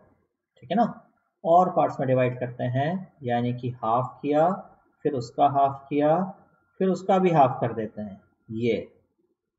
फिर यहाँ से भी हाफ़ कर देते हैं, फिर उसका भी हाफ़ कर दिया। ये और कहो तो इसका भी हाफ़ करते चलो, ये सब। यानी कि इस तरह से अब हमने क्या किया? अब हमने और छोटे छोटे रेक्टेंगल्स बनाने शुरू कर दिए। ठीक है? अब ये पंद्रह सोलह रेक्टेंगल्स बन गए होंगे, ठीक है? अब देखो कि अब अगर हमारे पास रेक्टेंगल बनते हैं तो क्या होता है? हमारे पास एक रेक्टेंगल दूसरा रेक्टेंगल तीसरा, चौथा, पांचवा है ना? सात, फिर ये आठ, फिर ये नौ, फिर ये दस, इस तरह से हमारे पास अब ये कुछ कुछ रेक्टेंगल आए।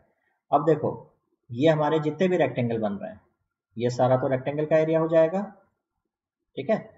और जो प्रॉब्लम करने वाला एरिया था, यानी कि जो प्रॉब्लम करने वाला एरिया था, यानी कि जो येलो जोन जो हमारी थी, ठीक है ना? ये ये ये ये, ठीक है? अब मेरे ख्याल से कई लोगों को क्लियर हो रही होगी बात कि अगर हम एक सीक्वेंस और आगे चल रहे हैं बेटा, और इस बार में 16 नहीं 30 टू 50 टाइम्स तक इसको डिवाइड करने लग जाऊँ तो क्या होगा? इस चीज़ को अगर हम सोचने की कोशिश करें तो देखो क्या होने वाला है। मैं इसको इस तरह से डिवाइड कर दू बहुत सारे पार्ट्स में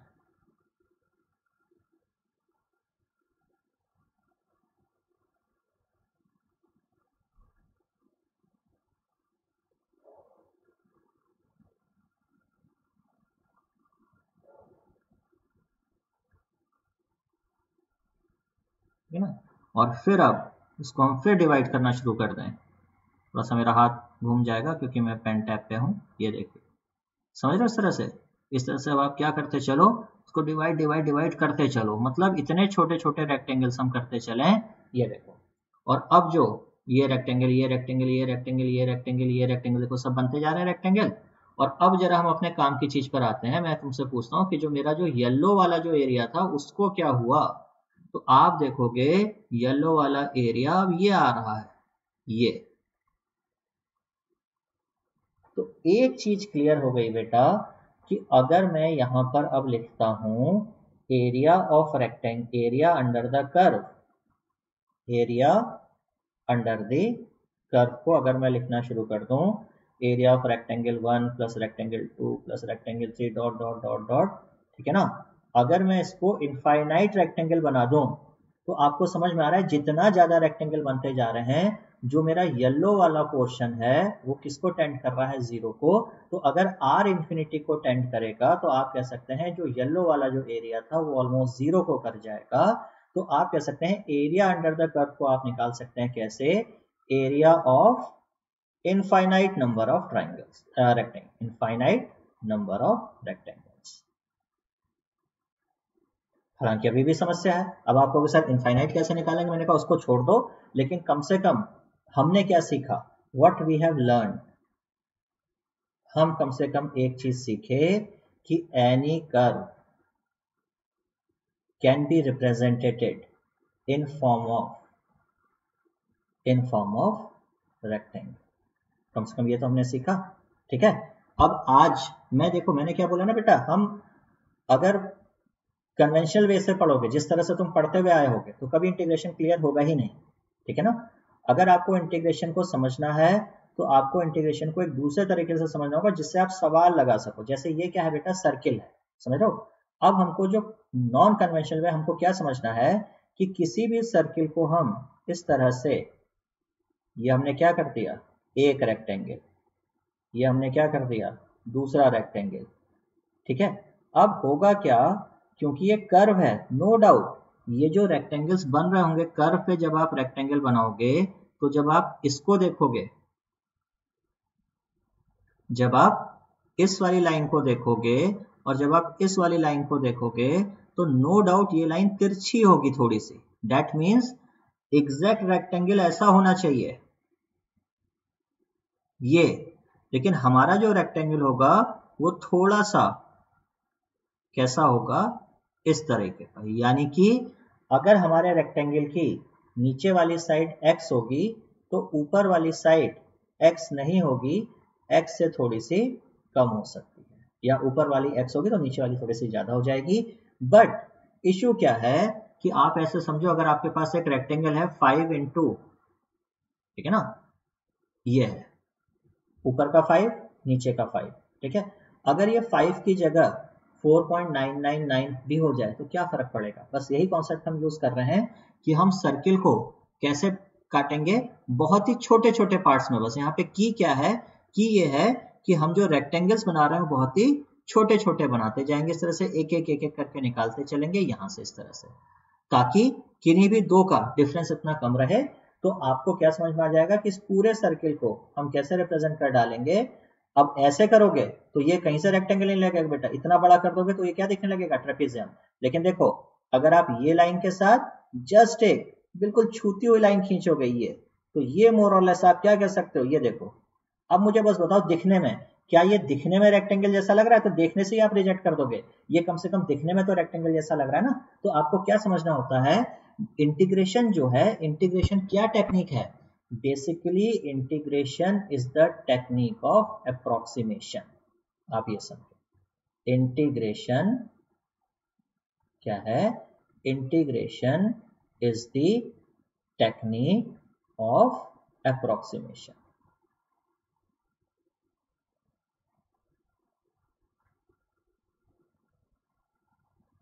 ठीक? अब मैं आपको दो तरीके से समझाता हूँ इस चीज़ को। ठीक है? देखो बस ये लास्ट है। पाँच मिनट में खत्म करेंगे आज की क्लास देखो। सर्किल का एरिया कितना होता है? सबको पता है? सर्किल का एरिया होता है पाई आर स्क्वायर ठीक है बेटा? अब सवाल ये आता है कि ये सर्किल का जो एरिया है, ये आप निकालोगे कैसे? ठीक है? सर्किल का एरिया आप निकालोगे कैसे? ये चीज़ आप समझो। तो अगर हम क्या करें, इस सर्किल को, इस सर्किल को हम दो पार्ट में डिवाइड कर देते हैं। ये। ठीक है? ओके अब, अगर हम इसके ऊपर इस तरह से लाइन बाय लाइन रखते चलें, ये लाइन ये लाइन ये लाइन ठीक है ना? ये लाइन इस तरह से हम रखते चलें।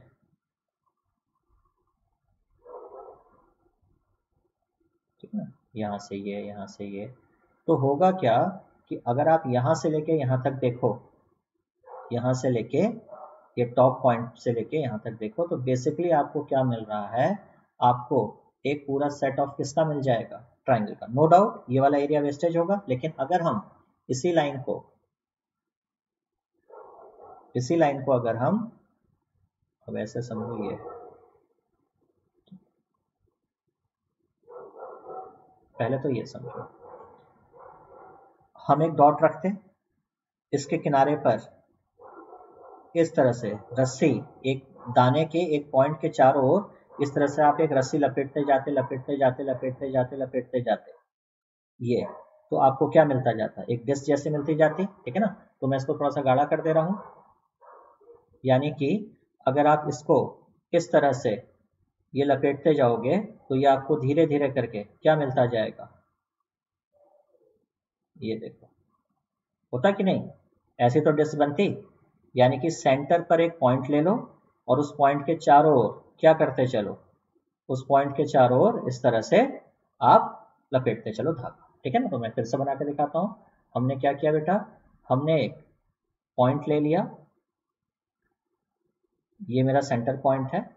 अब मैं क्या कर रहा हूँ? इस पॉइंट के चारों ओर सिर्फ़ इस तरह से एक कोई भी चीज़ को डालता जा रहा हूँ, ये देखो, ये है।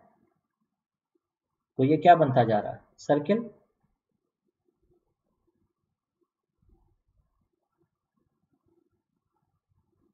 ये देखो ना? अब आपको छोटी क्लास में बोल बोल के रटा दिया गया है कि भाई जो सर्किल का एरिया होता है वो कितना होता है? पाई आर स्क्वायर, ठीक है? ये हमारा बन गया सर्किल ठीक? अब मैं क्या करता हूँ बेटा? इस सर्किल में से सपोज़ ठीक है? ये सर्किल बन गया। और ये हमारा बीच का कह लो डॉट पॉइंट था। ये, ठीक है? अब मैं क्या करता हूँ? इस सर्किल पे आके, इस सर्किल पे आके एक छोटा सा ये जो रिंग है, ये निकाल लेता हूँ। ठीक हो गया? क्लियर अब अगर मैं इस रिंग को देखूँ, है ना? ये जो रिंग आपने यहाँ पर बनाया है सपोज़ ये यहाँ से कितनी दूरी पर है? ये यहाँ से है एक्स दूरी पर। कितनी दूरी पर? एक्स दूरी पर। ठीक है? तो होगा क्या? इस रिंग को अब मैं बाहर खोल के ला रहा हूँ। ठीक है? इसका ये जो रिंग है, ये। ठीक है? इसको मैं बाहर खोल के ऐसे इस पर कट लगा देता हूँ तो क्या होगा? एक अंदर वाला कट खुल जाएगा और एक बाहर वाला कट खुल जाएगा। ये इस तरह से हो जाएगा ना? क्योंकि बाहर वाला पैरीमीटर थोड़ा सा ज़्यादा होगा, अंदर वाला पैरीमीटर कम होगा। ठीक है? अब अगर मैं इसके ये दोनों हिस्से इग्नोर कर दूँ, कैसे इग्नोर कर दूँ?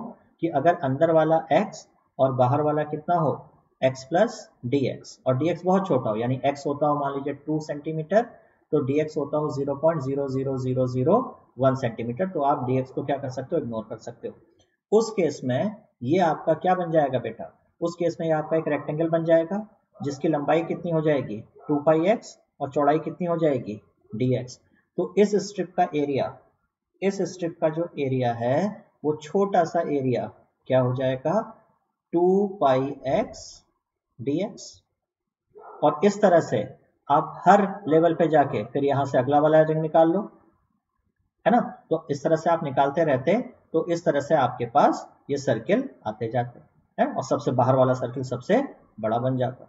और इस तरह से बिल्कुल अंदर वाला देखते तो अंदर वाला सर्किल क्या रह जाता? अंदर वाला सर्किल बिल्कुल डॉट की तरह रह जाता। ये मैं आपको समझा रहा था कि इस तरह से आप क्या देख सकते हो? सर्किल को ट्राइंगल की तरह, ठीक है ना? अब अगर आपको इसका एरिया निकालना है तो सारे डीएस को क्या करना होगा आपको? जोड़ दो। यानी कि आपको क्या करना होगा? D a plus d a plus d a कितनी बार? अनगिनत बार। तो इसी को क्या बोलते हैं? इंटीग्रेशन ऑफ़ डी ए अब जब आप इंटीग्रेशन ऑफ़ डी ए करोगे तो आप क्या कर लो? आप कर लो बेटा integration of two pi x d x जिसमें से लिमिट कहाँ से शुरू होगी? एक्स जो पहला रेडियस है, वो कितना होगा? X is equal to zero और लास्ट वाले रिंग का रेडियस कितना होगा? जो आखिरी रिंग निकलेगा, x इक्वल्स टू आर तो लिमिट क्या लग जाएगी? x equals to zero to x equals to r two pi constant है, उसे बाहर ले लो और x dx का इंटीग्रेशन कितना हो जाएगा? X square upon two zero से आर टू से टू कट जाएगा और यह आ जाएगा pi r square minus zero और इस तरह से आपको एरिया ऑफ़ द सर्किल क्या मिल जाएगा? एरिया ऑफ़ द सर्किल आपको मिल गया पाई आर स्क्वायर जिसे आप छोटी क्लासेस से याद करके चलते थे। तो बेसिकली ध्यान रखिए, ये जो फॉर्मूला आपको छोटी क्लासेस से कराया गया है, ये फॉर्मूला किसका नतीजा है? इंटीग्रेशन का। और आज आपको एक बात समझ में आनी चाहिए कि सर्किल का एरिया पाई आर स्क्वायर नहीं होगा। सर्किल का एरिया पाई आर स्क्वायर से थोड़ा सा डिफरेंट होगा, क्योंकि सर्किल का एरिया निकालते वक्त बार बार आपने इस वाले पोर्शन को क्या किया है? ओमिट किया है। मेरी बात समझ में आ रही बेटा? ठीक है? आपको ये समझ में आना चाहिए कि लेकिन इस फॉर्मूले को हम बचपन से यूज़ करते हुए आ रहे हैं। हालाँकि ये जो फॉर्मूला है, ये थोड़ा सा इसमें एरर है, क्योंकि जब ये फॉर्मूला आपने डिराइव किया है तो नो डाउट आपने इस हिस्से को क्या किया है? इस हिस्से को बार बार हर साइकिल पे आपने इस वाले हिस्से को इग्नोर किया बट क्योंकि ये टेंडिंग टू ज़ीरो था, इसलिए अगर आपने इग्नोर भी किया है तो बहुत बड़ा फ़र्क आपको नहीं पड़ता है। आगे बात समझ में? ठीक है बेटा? तो इस तरह से जो इंटीग्रेशन है, हर चीज़ जो भी आपने फॉर्मूले एरिया के, जो भी आप वॉल्यूम के फॉर्मूले आज तक पढ़े हो, या जितने भी मैक्सिमम आपने मैथमेटिक्स में छोटी क्लासेस में फॉर्मूले रटे हैं basically all are the result of integration ठीक है?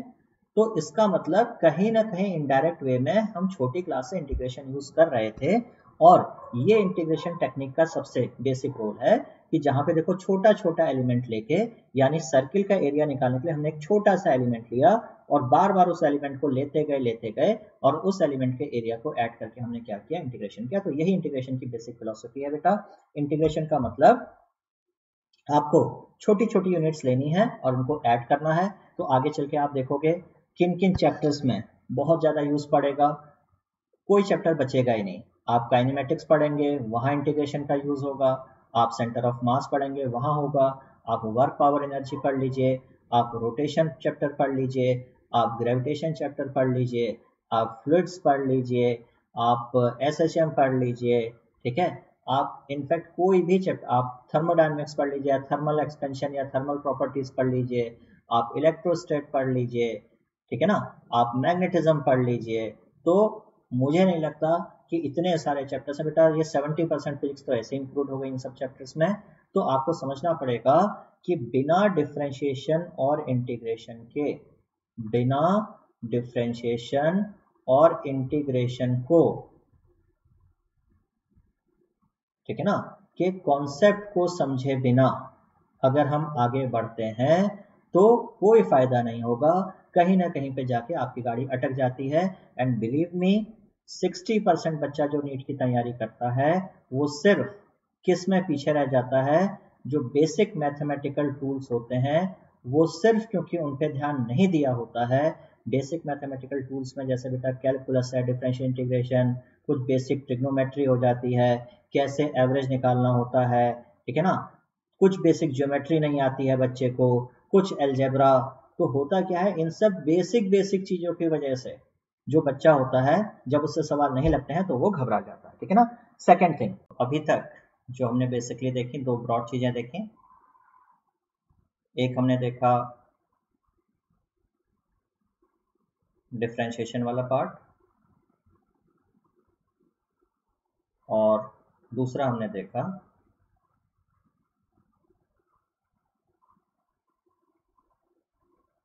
इंटीग्रेशन वाला पार्ट इनके कुछ जो बेसिक बेसिक फॉर्मूलेस थे, वो हमने देखे। जैसे डिफ्रेंशिएशन में सबसे इम्पोर्टेंट पार्ट ये आया था। और इंटीग्रेशन में इसके दो एक्सप्रेशन आए थे। और अगर एन आपका माइनस वन है तो ये आपका हो गया था one by x d x यानी कि लॉग ई बेस एक्स ठीक है? देन ज्योमेट्रिकली जब हमने देखा था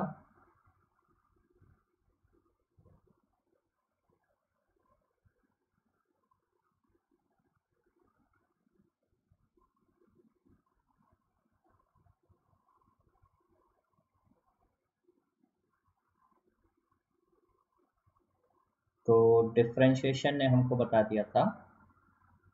Slope at a point this tan theta was equal to dy by dx और अगर हमने इंटीग्रेशन में ज्योमेट्रिकली देखें तो यहाँ पर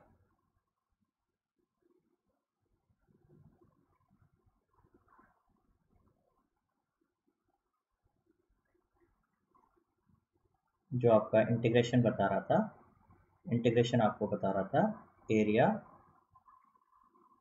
अंडर ठीक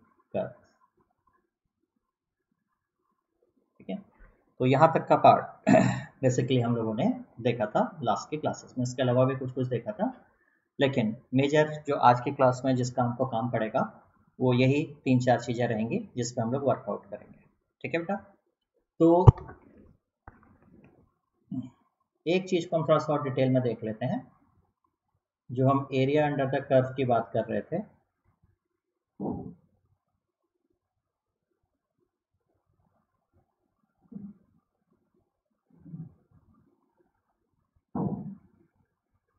तो मान लीजिए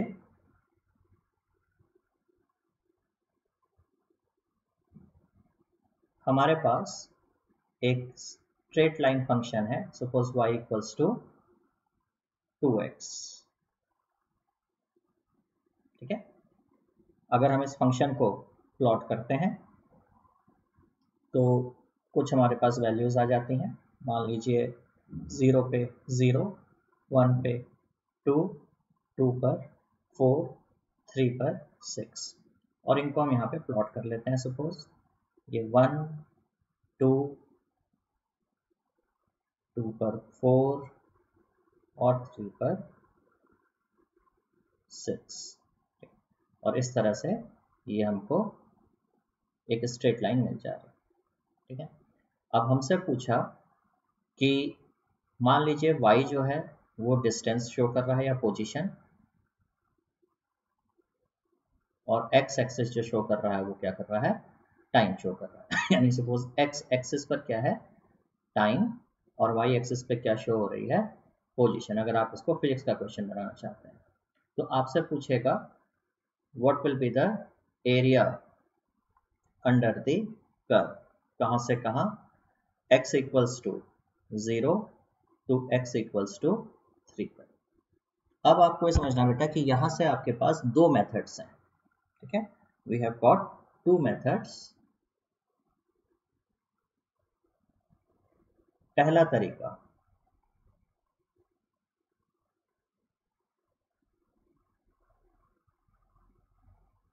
Area under the curve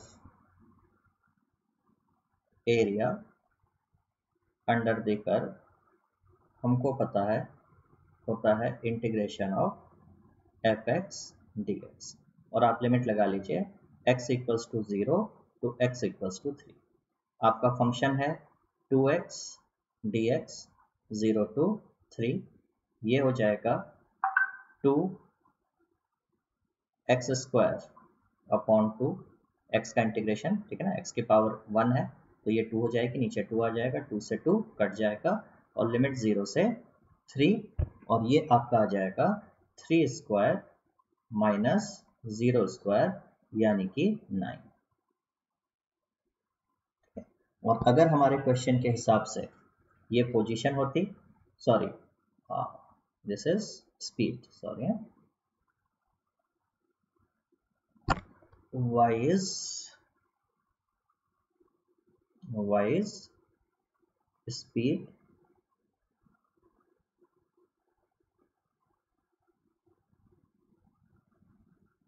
Y axis पर स्पीड है। ठीक है? तो अगर हम अपने क्वेश्चन के हिसाब से देखते तो y एक्सेस पर स्पीड यानी कि हम क्या निकाल रहे होते वी डी टी और कल मैंने बताया था ये चीज़ क्या होती है? डिस्टेंस तो एक तरीके से आपने क्या निकाल ली होती डिस्टेंस लेकिन अब आप एक चीज़ को समझो। आप बिना इंटीग्रेशन के सीधे भी बता सकते हैं कि ये जो ट्राइंगल का एरिया होगा, ध्यान रखिएगा integration of f x d x area of the curve भी होता है। और क्योंकि यहाँ पर, क्योंकि यहाँ पर जो फिगर बन रहा है, वो है ट्राइंगल और ट्राइंगल के एरिया का फॉर्मूला हमको आता है। तो मेरे लिए यहाँ पर आसानी हो जाएगी कि मैं बिना इंटीग्रेशन के सीधे ट्राइंगल का एरिया निकाल दूँ। Half height is six into base is three तो वो भी क्या आ जाता है? नाइन तो क्या एडवांटेज हो गया बेटा यहाँ पे? मुझे इंटीग्रेशन से बच गया मैं और मेरा आंसर जो है वो थोड़ा सा जल्दी आ गया। ठीक है ना? जो मेरा आंसर है वो थोड़ा सा जल्दी आ गया। Now what is the key the key is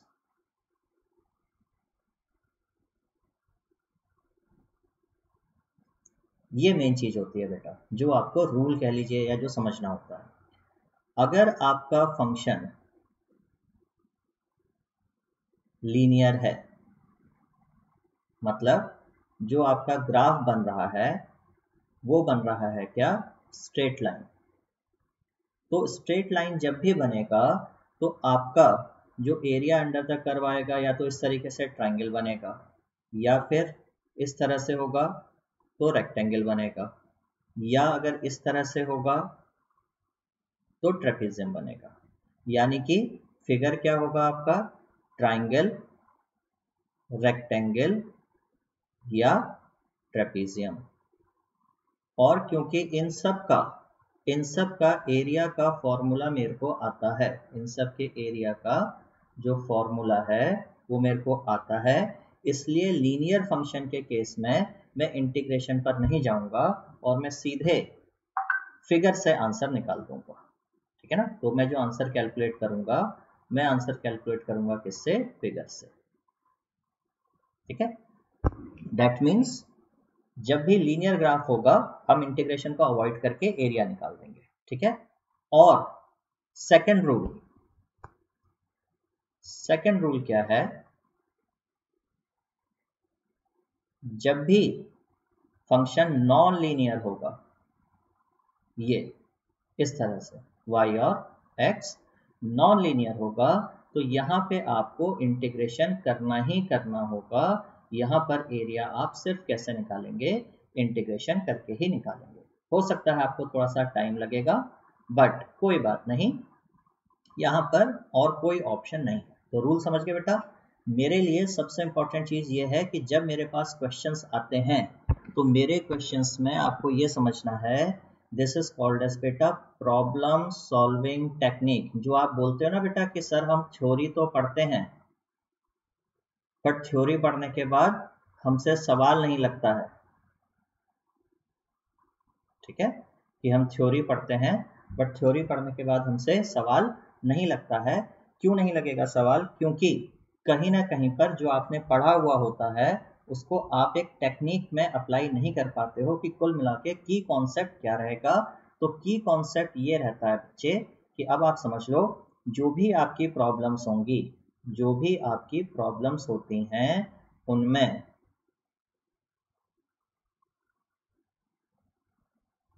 कोई ना कोई रिलेशन दिया होगा। बिटवीन टू क्वांटिटीज ठीक है ना? अब इसको आप बोल सकते हैं, जैसे सपोज़ स्पीड और टाइम के बीच का रिलेशन दे रखा है। This is the relation between v is speed and t is time अब या तो ये फ़ंक्शन इस तरह का होगा, v is equal to u plus a t type का, यानी कि स्ट्रेट लाइन या फिर ये फ़ंक्शन इस तरह के होंगे, v is equal to u plus a t square type के, यानी कि कर्व स्ट्रेट लाइन नहीं होंगे। अगर ये स्ट्रेट लाइन है अगर ये फ़ंक्शंस स्ट्रेट लाइन है और आपको वी डी टी करने को बोला गया है तो आप वी डी टी को मैथमेटिकली मत करिए। आप सीधे एरिया अंडर द कर्व निकाल दीजिए, वो आपको इजी पड़ेगा। एरिया अंडर द कर्व निकालना आपको इजी पड़ेगा। लेकिन अगर फ़ंक्शन कर्व है नॉन लीनियर टाइप के हैं, फिर आपके पास कोई ऑप्शन नहीं है। आपको इसको आगे कैरी करना पड़ेगा और अपने स्टेप्स करके आप इसका आंसर निकालेंगे। ठीक है बेटा? ओके तो ये मेन चीज़ है। आपको बस ये पकड़ना पड़ेगा कि प्रॉब्लम में जो ग्राफ आ रहा है, क्या वो स्ट्रेट लाइन है या स्ट्रेट लाइन नहीं? ठीक है बेटा? जैसे सपोज़ मैं एक एग्जांपल से समझाता हूँ।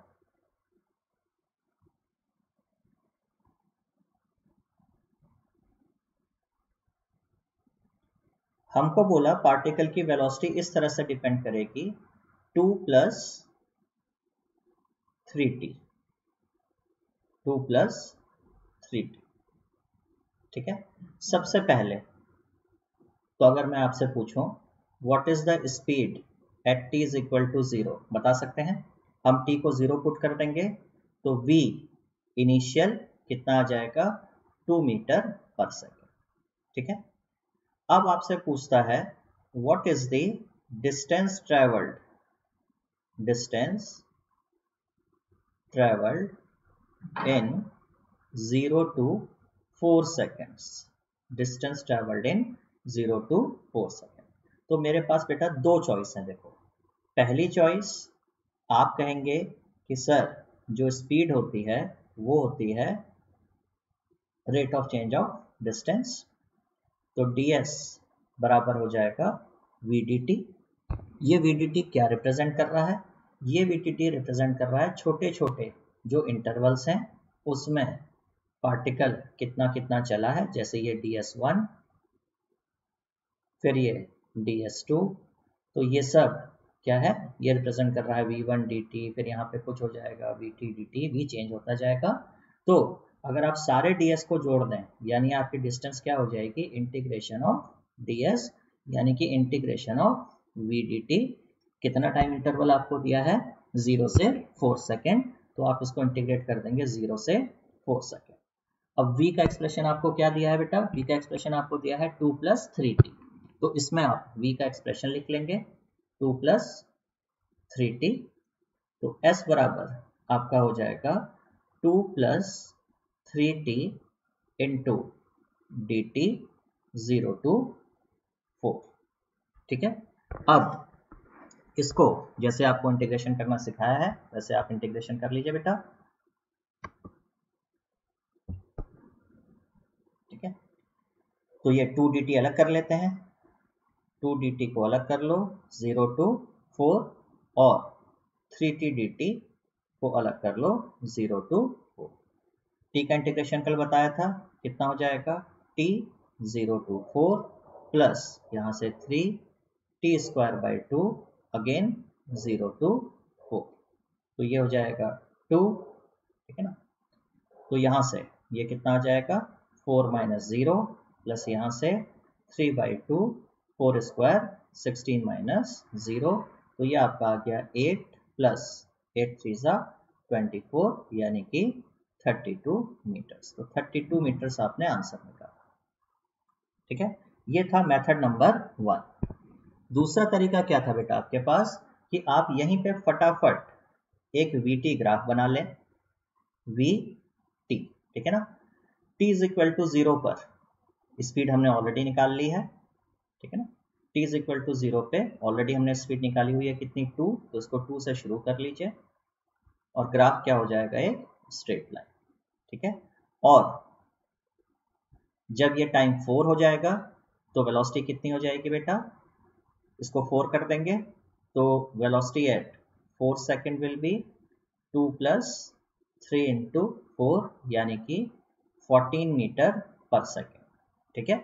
तो ये हो गया फोर्टीन और यहाँ से ये ज़ीरो और ये फोर ठीक है? तो ये कितना हो जा रहा है? ये हो जा रहा है फोर्टीन ये हो जा रहा है टू और ये हो जा रहा है फोर और ट्रेपेजियम का जो एरिया बनता है, ये ट्रेपेजियम बन रहा है half sum of parallel sides यानी कि two plus fourteen into four ठीक है ना? तो एग्जैक्टली exactly ये भी आपको क्या मिल जा रहा है?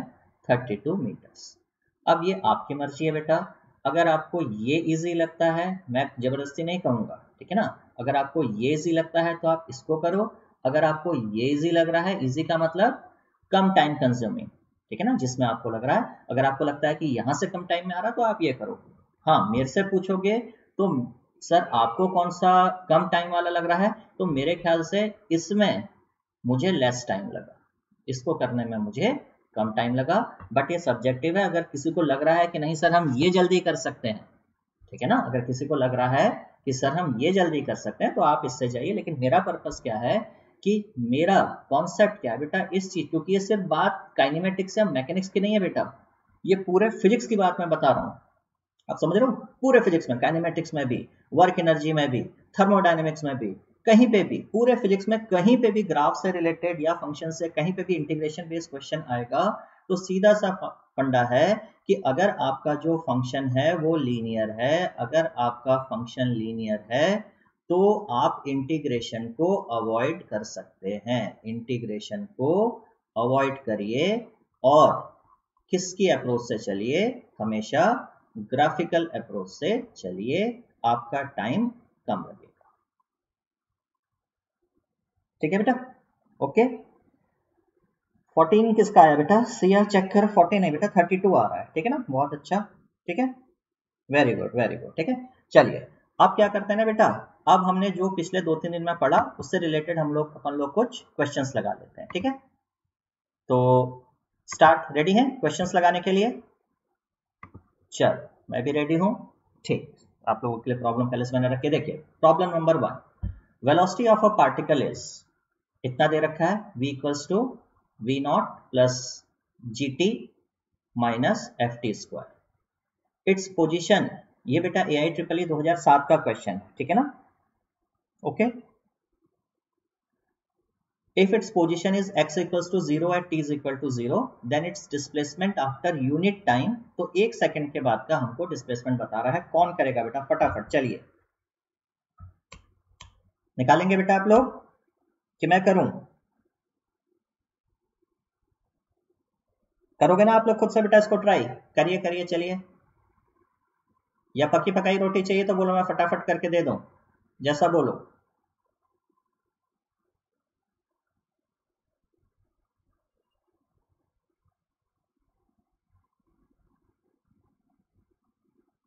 ओके बेटा, सिया। ठीक ठीक ठीक, सिया। हाँ speed 14 metre per second okay बेटा, एकदम सही, सिया। वही मेरे को लगा, कल तुम इतना बढ़िया जवाब दे रही थी मैंने कहा, आज क्या गड़बड़ कर रही है, सिया? ये आप लोग करोगे, बेटा? हाँ ना तो बता दो। इस क्वेश्चन को कर रहे हो आप लोग कि मैं करूँ?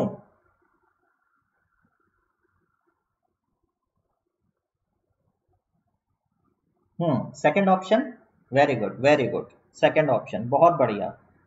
सारंग, जिंटू, आकाश तले। आकाश भी एकदम रेगुलर बच्चा है बेटा। आप इतने रेगुलर हो जाओगे ना बेटा, जितने भी लोग रेगुलर देख रहे हैं।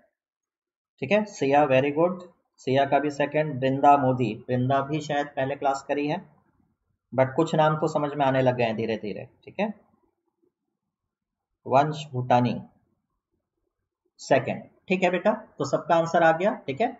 तो आपका वेलोसिटी का एक्सप्रेशन दे रखा है, इसको आप क्या लिख लेंगे?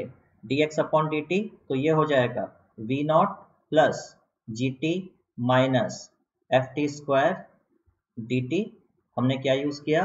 हमने v बराबर d x upon d t use कर लिया। और अब x के लिए हम क्या करेंगे? इंटीग्रेट कर देंगे। तो सबको अलग अलग कर दो। v नॉट डी टी ठीक है ना? Plus g t d t minus f t square d t और सब पे लिमिट कहाँ से कहाँ लगा देंगे बेटा? हमारा टाइम कहाँ से कहाँ दे रखा है? ज़ीरो से वन सेकेंड ज़ीरो से वन सेकेंड ज़ीरो से वन सेकेंड इनफैक्ट ये हमारा डिस्प्लेसमेंट निकल रहा है, ठीक है ना? तो क्योंकि original t is equal to zero पर पार्टिकल कहाँ है? ज़ीरो पर। तो इसको भी एक्चुअली आप क्या कर सकते हो? जब आप इंटीग्रेट करोगे तो x कहाँ से कहाँ आएगा? X इनिशियल से x फाइनल तक आएगा तो आपको मिल क्या रहा है basically x final minus x initial ठीक है? तो यहाँ से ये v नॉट टी हो जाएगा, ठीक है? तो v नॉट कांस्टेंट है, ये t हो जाएगा ज़ीरो से वन ये आपका हो जाएगा g t square by two again zero से वन और ये हो जाएगा आपका f t cube by three again zero से वन सब पे लिमिट लगा देंगे। तो v nought plus g by two minus f by three is the answer ठीक है ना? सो कौन सा option second option is the correct answer ठीक, चलिए। नेक्स्ट क्वेश्चन अच्छा ये तो वही आ गया, फिर से। दिस इज़ सेम क्वेश्चन हाँ।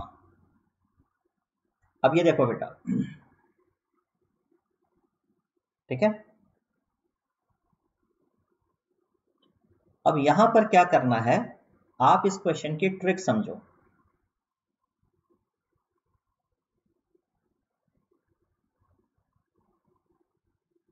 पहली चीज़ पार्टिकल स्टार्ट्स मूविंग यानी कि पार्टिकल की इनिशियल स्पीड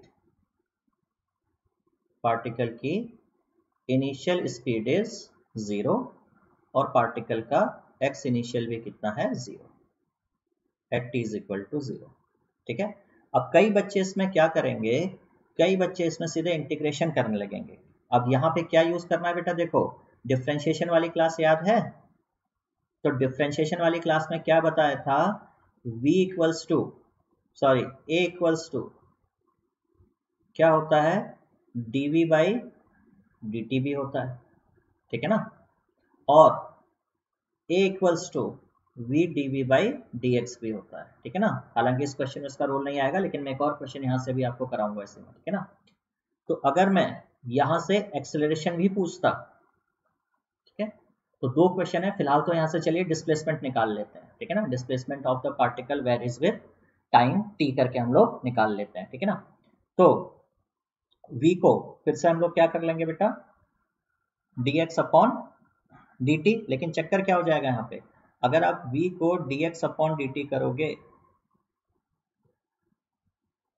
तो v बराबर फिर से dx अपॉन dt, ठीक है ना? तो आपको क्या मिल जाएगा? V बराबर कितना है? A रूट x बराबर dx अपॉन dt, ठीक है? अब यहाँ से a तो कांस्टेंट है, ठीक है ना? सॉरी अल्फ़ा इज़ समथिंग मतलब जो कोई number a is not expression ठीक है बेटा? ये अल्फ़ा इज़ सम कांस्टेंट तो यहाँ से आपके पास क्या आ जाएगा? अल्फ़ा डी टी बराबर d x upon root x ठीक है? और इसको आप इंटीग्रेट करेंगे दोनों तरफ़। यहाँ इंटीग्रेट कर लो, यहाँ इंटीग्रेट कर लो तो आपका ज़ीरो से टी और आपका x is equal to zero से x, आप इंटीग्रेट करके अपना आंसर निकाल सकते हो। ठीक है ना? अब हमारे पास एक दूसरा तरीका क्या है बेटा? यहाँ पे ट्रिक क्या है जो मैं कह रहा हूँ? ट्रिक क्या है उस चीज़ को समझो। एक्चुअली आपको थोड़ा सा इतना सबको नॉलेज है कि वी स्क्वायर बराबर क्या होता है? U square plus two a x ये सबको मालूम है? ठीक है? और यहाँ पर अगर आप देखोगे तो यहाँ पे आपको वी स्क्वायर बराबर क्या मिल रहा है? अल्फ़ा स्क्वायर एक्स यानी इसको आप क्या लिख सकते हो? वी स्क्वायर बराबर zero plus alpha square x तो अगर आप इससे कंपेयर करो तो u हो गया ज़ीरो और आपका जो 2a है, आपका 2a बराबर कितना आ गया? अल्फ़ा स्क्वायर यानी कि जो एक्सप्रेशन है वो कांस्टेंट है alpha square by two expression is constant और जब एक्सप्रेशन कांस्टेंट होता है तो आप डिस्प्लेसमेंट क्या यूज़ कर सकते हो बेटा? U t plus half a t square क्योंकि यू ज़ीरो है तो आपको सीधे सीधे आंसर मिल जाएगा कि जो डिस्प्लेसमेंट या डिस्टेंस होगा that will be proportional to t square ठीक है? तो इससे क्या होगा बेटा? ये जो इंटीग्रेशन आपको करना था नो डाउट इंटीग्रेशन करके भी आप आंसर निकालोगे कि distance is proportional to t square but अगर आप यहाँ पे ध्यान दो तो यहाँ पर आप देखते ही पता कर सकते हो यहाँ पर आप देखते ही पता कर सकते हो कि आंसर कितना होना चाहिए था टू स्क्वायर। समझ गए बेटा? और अगर एक्सेशन पूछा होता तो एक्सेशन में भी आपको डिफ्रेंशिएशन करने की ज़रूरत नहीं थी। आपने एक्सेशन भी सीधे निकाल दिया अल्फ़ा स्क्वायर अपॉन टू तो इस टेक्निक को हमेशा ध्यान रखना कि अगर कोई सेट इक्वेशन मैच कर रही है तो वहाँ पे हमेशा आपका जो टाइम है वो सेव हो जाएगा। ठीक है? ओके चलिए, अगला क्वेश्चन करें। ध्यान रखना बेटा, मेरी एक बात ध्यान से सुनो, मैं क्या कह रहा हूँ, ये बड़ा स्पेशल स्टेटमेंट दे रहा हूँ मैं, ठीक है? हमको डिफ्रेंशिएशन और इंटीग्रेशन आना चाहिए। हमको डिफ्रेंशिएशन आना चाहिए बट अगर हम अवॉइड कर सकें, अगर हम अवॉइड कर सकें क्वेश्चन में तो बहुत अच्छा। आगे बात समझ में? डिफ्रेंशिएशन इंटीग्रेशन को सीखना ज़रूर है, लेकिन अगर कोई क्वेश्चन बिना डिफ्रेंशिएशन इंटीग्रेशन के हो सकता है तो हमेशा बिना डिफरेंशियल इंटीग्रेशन के करेंगे, वहाँ पे ज़्यादा अपना ज्ञान नहीं दिखाएँगे। एग्जामिनेशन हॉल में अपनी नॉलेज नहीं दिखानी है कि मैं बहुत बड़ा साइंटिस्ट हूँ, मैं ऐसे जानता हूँ, मैं ये भी जानता हूँ। एग्जामिनेशन हॉल में सिर्फ़ एक फोकस जैसे अर्जुन और चिड़िया की आँख, बस आंसर निकालना है। अब आंसर निकालने के लिए चाहे मेथड प्रॉपर हो, चाहे मेथड इम्प्रॉपर हो, अक्सर इम्प्रॉपर मेथड्स को हम लोग चीट कोर्स या चीट मेथड कह देते हैं। एग्जामिनर को धोखा देने वाले मेथड्स लेकिन उससे कोई फ़र्क नहीं पड़ता बेटा। जिस, आपने सुना है ना, जब वॉर होती है तो everything is fair in war ठीक है ना? अब आप कहेंगे, सर, एक चीज़ और होती है everything is fair in war and love तो लव को साइड कर दीजिए। फ़िलहाल हम जंग की बात करते हैं, नहीं, आजकल वैसे भी सब, हमने देखा है, नीट की तैयारी वाले, है ना? नीट की तैयारी वाले जितने बच्चे हैं सब, आजकल जंग में ही लगे हुए हैं। अब ये क्वेश्चन देखो बेटा this is very special question ठीक है? ये क्वेश्चन भी काफ़ी स्पेशल है। तो इसमें क्या है देखो, इस बार आपको दे रखा है relation between t and distance x is a ये। A and b are constant और आपसे पूछ रहा है कि जो एक्सप्रेशन है वो कितना होगा, ठीक है? तो नॉर्मली हम क्या करेंगे कि अगर x as a function of time दे रखा है तो हम क्या करते हैं x को डिफ्रेंशिएट करके वेलोसिटी निकाल लेंगे और वेलोसिटी को डिफ्रेंशिएट करके एक्सेशन निकाल लेंगे। ठीक है बेटा? ये नॉर्मल हम करते हैं। ठीक? लेकिन यहाँ पर क्या होगा? अगर हम इसको x के फॉर्म पे लाएँ, अगर हम अगर हम इक्वेशन को x के टर्म पे लाने की कोशिश करें तो ये हमारी एक क्वाड्रेटिक इक्वेशन बनेगी बेटा। है कि नहीं? ये बन जाएगी a x square plus b x minus t बराबर ज़ीरो इस तरह से। और इस तरह का जो रूट्स आएँगे, उसका डिफ्रेंशिएशन करना बहुत ही कॉम्प्लिकेटेड प्रोसेस हो जाएगा। That will be a complicated process for us ठीक है? तो इस तरह के क्वेश्चन में, इस तरह के क्वेश्चन में हमको क्या करना है? बेटा इसको आप ध्यान से देखो। हमारे पास क्या है? हमारे पास है t equals to a x square plus b x ठीक है?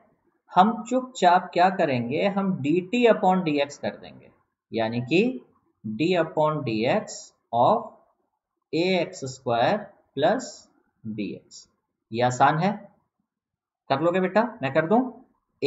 कांस्टेंट एक्स स्क्वायर का differentiation two x plus b, यानी कि d t upon d x कितना आ गया? D t upon d x आ गया two a x plus b, ठीक है? अब ध्यान दो, d x upon d t क्या होता है? वेलोसिटी या स्पीड कह लो तो d t upon d x क्या होगा? वेलोसिटी का इनवर्स, ठीक है? तो आप कह लीजिए, this is one upon v आ गया आपका कितना? Two a x plus b या v इज़ इक्वल टू आ गया two a x plus b की पावर माइनस वन। ठीक है? अब हमसे क्या पूछा है? हमसे पूछा है एक्सेलरेशन, कि एक्सेलरेशन कितना होगा। अब यहाँ पर बेटा जो लेक्चर मैंने लिया था, डिफ्रेंशिएशन का सेकंड लेक्चर लिया था, जिसमें मैंने आपको क्या बताया था? चेन रूल तो उसमें मैंने आपको एक चीज़ बताई थी कि एक्सप्रेशन डीवी बाई डीटी भी होता है और ये कब यूज़ करना होता है? जब स्पीड या velocity as a function of time दिया होगा बट अगर speed as a function of x दिया हो तो ये क्या हो जाता है? V d v by d x और ये v d v by d x कैसे निकलता है? ये v d v by d x chain rule की मदद से निकल जाता है। आप कुछ नहीं करते हैं, आप d v by d t को ही एक्स से मल्टीप्लाई और एक्स से डिवाइड कर देते हैं। ये एक्स अपॉन टी क्या बन जाता है? वी और ये क्या आ जाता है? डी वी बाई एक्स तो यहाँ पे एक्सप्रेशन निकालने के लिए हम क्या करेंगे? डी वी बाई एक्स ठीक है? तो अब हमारा जो एक्सेलरेशन है, हमारा एक्सेलरेशन हो जाएगा v v की जगह लिख लेते हैं two a x plus b की पावर माइनस वन और d upon d x of two a x plus b की पावर माइनस वन अब इसके लिए फिर मैंने चेन रूल में क्या बताया था बेटा? एक आउटसाइड इनसाइड रूल है ना? आउटसाइड इनसाइड रूल याद है? अब पीछे का नहीं पढ़ेंगे बेटा तो थोड़ा सा दिक्कत हो जाएगी, है कि नहीं? तो इसमें आपको मैंने इनसाइड आउटसाइड रूल बताया था, जिसमें आपको क्या करना है? मान लीजिए ये सिर्फ़ एक्स होता, इसको मान लीजिए कि ये सिर्फ़ एक्स होता तो इसको एक्स मान के आप पहले डिफ्रेंशिएट करते तो इसको तो ऐसे ही उतारते हैं। Two a x plus b की पावर माइनस वन अगर ये एक्स की पावर माइनस वन होता तो क्या हो जाता? माइनस वन एक्स की पावर माइनस टू और एक्स की जगह क्या है? Two a x plus b की पावर माइनस टू और इसका काम हो गया, अब अंदर आ जाओ। तो अंदर आ जाओगे तो two a x plus b का इंटीग्रेशन का डिफ्रेंशिएशन कितना हो जाएगा? टू ए ठीक है ना? तो कुल मिला के आपके पास क्या आ गया? Minus two a two a x plus b की पावर माइनस थ्री। और इसको आप क्या लिख सकते हो चाहो? तो इसको आप लिख सकते हो minus two a two a x plus b की पावर माइनस वन का क्यूब। और ये क्या चीज़ निकाली है बेटा? ये आपने निकाली है वेलोसिटी। देख रहे हो ना? ये ये एक्सप्रेशन किसका था? ये एक्सप्रेशन था वेलोसिटी या स्पीड का तो इसको आप लिख सकते हो माइनस टू ए और इसकी जगह वी कर देंगे तो वी क्यू ठीक है? तो आपका जो एक्सेलरेशन है, आपका एक्सप्रेशन आ गया minus two a v cube अब अपना क्वेश्चन पे वापस चलते हैं। ये। ठीक है? तो आपके पास पहला ऑप्शन आपका आ रहा है minus two a v cube this is the correct answer ठीक है बेटा? क्लियर ये क्लियर है सबको? कि फिर समझाना पड़ेगा? यहाँ से देख लेते हैं फिर से एक बार। ये देखो, ये है, पूरा देखो। ये थोड़ा बड़ा क्वेश्चन है, लेकिन ये बेटा आपके नीट सीबीएसई पीएमटी में ऑलरेडी आया हुआ है, ध्यान रखना। ऑलरेडी ये नीट में पूछा हुआ क्वेश्चन है और ये हिस्टोरिकल या क्लासिकल क्वेश्चन है, ठीक है? क्लासिकल मतलब जैसे ये दस सालों में दो या तीन बार आया हुआ क्वेश्चन है, ठीक है बेटा? क्लियर तो इसको ध्यान से देख लेना, ये रिपीटेड क्वेश्चंस के तो ना आंसर आप याद भी कर सकते हो, कोई बुराई नहीं, देखो। रटने में या याद करने में कोई बुराई नहीं है, अगर आप चीज़ों को समझते हैं तो जहाँ जहाँ पे इंपॉर्टेंट कोई चीज़ें आ रही हैं, वहाँ वहाँ पे आप याद भी कर सकते हैं उसको, ठीक है? चलिए ओके अब अगला क्वेश्चन लेते हैं बेटा, ठीक है? दिस वन ठीक अब ये जो प्रॉब्लम है नो no डाउट ये टू डी प्रॉब्लम है. आप कहोगे, सर, हमने तो अभी टू डी नहीं पढ़ा, कोई बात नहीं, पढ़ेंगे. ठीक है ना? ये तो बस आज एप्लीकेशन सीख रहे हैं कि भाई डिफ्रेंशिएशन का जो एप्लीकेशन है, वो कहाँ कहाँ पर हम लोग कैसे कैसे ले सकते हैं ना? तो कहीं कहीं पे अगर थोड़ा सा आगे की चीज़ें भी आ जाती हैं तो कोई ऐसे बहुत बड़ी दिक्कत नहीं देखो, आपको समझना है कि अगर एक पार्टिकल अगर एक पार्टिकल इस तरह से मूव कर रहा है स्पेस में तो इसकी वेलोसिटी का एक एक्स कंपोनेंट हो सकता है और एक वाई कंपोनेंट हो सकता है। और किसी भी टाइम पे जो नेट वेलोसिटी है, उसका मैग्नीट्यूड कितना हो जाएगा? Under root v x square plus v y square बस इतना सा मुझे चाहिए, है ना? कि मैं तुमसे पूछूँ, ये वी एक्स है, ये वी वाई है है ना? तो नेट वेलोसिटी कितनी होगी? तो इतना तो सबको पता है under root v x square plus v y square तो यहाँ पर देखो क्या करना है बेटा, आपको x दे रखा है, ठीक है ना? आपको x दे रखा है अल्फ़ा टी क्यू इसको डिफ्रेंशिएट करके क्या निकाल लेंगे? वी एक्स ठीक है ना? तो कितना हो जाएगा? अल्फ़ा थ्री टी स्क्वायर ठीक है ना? तो वी एक्स कितना आ जाएगा? अल्फ़ा थ्री टी स्क्वायर और सिमिलरली वाई कितना दे रखा है? बीटा टी क्यू तो वी वाई कितना आ जाएगा? बीटा थ्री टी स्क्वायर ठीक है ना? और अब जब आप आंसर निकालेंगे तो v बराबर क्या कर लोगे? वी एक्स स्क्वायर यानी कि थ्री एल्फा टी स्क्वायर का square plus three beta t square का स्क्वायर ठीक है ना? इसमें से थ्री टी स्क्वायर बाहर निकाल लो, अंदर क्या रह जाएगा? Alpha square plus beta square चुन लो, कौन सा ऑप्शन इससे मैच कर रहा है। जो ऑप्शन मैच कर रहा है, उस पर गोला भर देंगे। आई थिंक थर्ड ऑप्शन इससे मैच कर जा रहा है ना? So third option is the correct बहुत अच्छा। वेरी गुड अरुण सुपरमैन ने सुपरमैन वाला काम कर दिया, ठीक है? सारन ठीक है? ठीक ठीक। थर्ड क्वेश्चन थर्ड ऑप्शन है। फिफ्थ का आंसर विल बी थर्ड ठीक है? क्लियर बेटा? ठीक।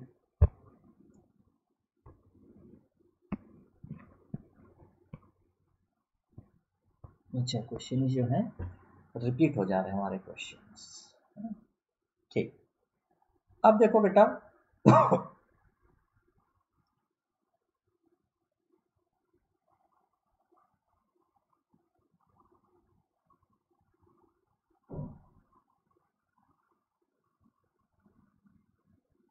थोड़ा सा इंटीग्रेशन की प्रैक्टिस कर लेते हैं, ठीक है ना? इंटीग्रेशन इसलिए कर रहा हूँ ना बेटा एक्चुअली डिफ्रेंशिएशन में नीट के बच्चे को उतनी दिक्कत नहीं आती है। डिफ्रेंशिएशन वो फिर भी किसी तरह से गिरते पड़ते कर लेता है। हमेशा इंटीग्रेशन एक ऐसी चीज़ है जो ज़्यादा परेशान करती है, ठीक है ना? तो उसको भी हम फिजिक्स के एग्ज़ाम्पल से समझते हैं। हालाँकि एक दो इंटीग्रेशन अभी हमने किए भी, ऐसा नहीं है। चलिए। एक प्रॉब्लम देता हूँ बेटा ना? एग्ज़ाम्पल बहुत अच्छा एग्ज़ाम्पल है बेटा। ये भी फाइव स्टार रेटिंग का एग्ज़ाम्पल है। This is example of five star five star का मतलब देखो, मेरे स्टार समझना मतलब ये बहुत बार एग्ज़ाम में पूछा गया है। और आजकल तो क्या हो गया ना बेटा कि आजकल तो सारा एग्ज़ाम एक कर दिया। पहले क्या होता था हम लोगों के टाइम पे? C B S E P M T अलग होता था बी एच यू अलग सीपीएमटी अलग एफ़ एम सी अलग एएमयू अलग एम्स अलग। तो एक ही साल में एक बच्चा कम से कम छह सात जिपमर अलग, है ना? तो एक ही साल में बच्चा कम से कम छह सात फॉर्म्स भर के एग्ज़ाम देता था, ठीक है? तो क्या होता था, जब छह सात जगह एग्ज़ाम देने जाता था तो ये क्वेश्चन मिलने का चांस बहुत हाई हो जाता था। अगर एक साल नहीं तो अगर वो दो या तीन साल रिपीट कर तो क्वेश्चन आना ही आना होता था। यानी कि दस बारह एग्ज़ाम देने के बाद डिफरेंट डिफरेंट ये क्वेश्चन किसी न किसी एग्ज़ाम में मिल जाता था। अब क्या होगा? क्योंकि अब सेंट्रलाइज एग्ज़ाम हो गया है तो आपको दस साल तक अगर आप दोगे पेपर जो कि नहीं किसी को करना है, लेकिन अगर आप दस साल तक का पेपर देखेंगे तो काफ़ी हाई प्रोबेबिलिटी रहती है कि ये क्वेश्चन आपको मिल जाता है। ठीक है ना? देखो, हमको एक ग्राफ दे दिया। कैसे भी दे सकता है? ग्राफ भी दे सकता है और सीधे इक्वेशन बना के भी दे सकता है। ठीक है ना? और ये। ये आपको दे दिया वेलोसिटी वर्सेस एक्स का ग्राफ। ठीक है? वेलोसिटी वर्सेस एक्स का ग्राफ, ये है वी नॉट ठीक है? और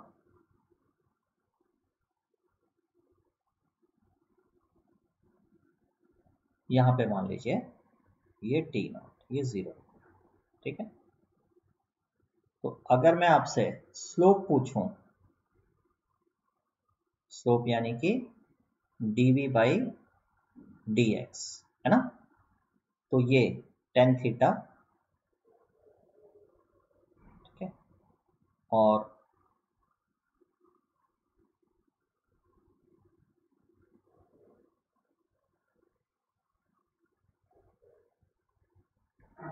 तो ये आपका टेन थीटा हो जाएगा, ठीक है ना?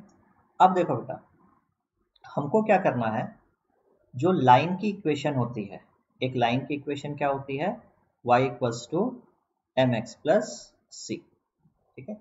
और सपोज़ ये जो टेन थीटा है, मान लीजिए टेन थीटा हमको कुछ दे दिया है कि ये कुछ भी है suppose this is thirty degree ठीक है?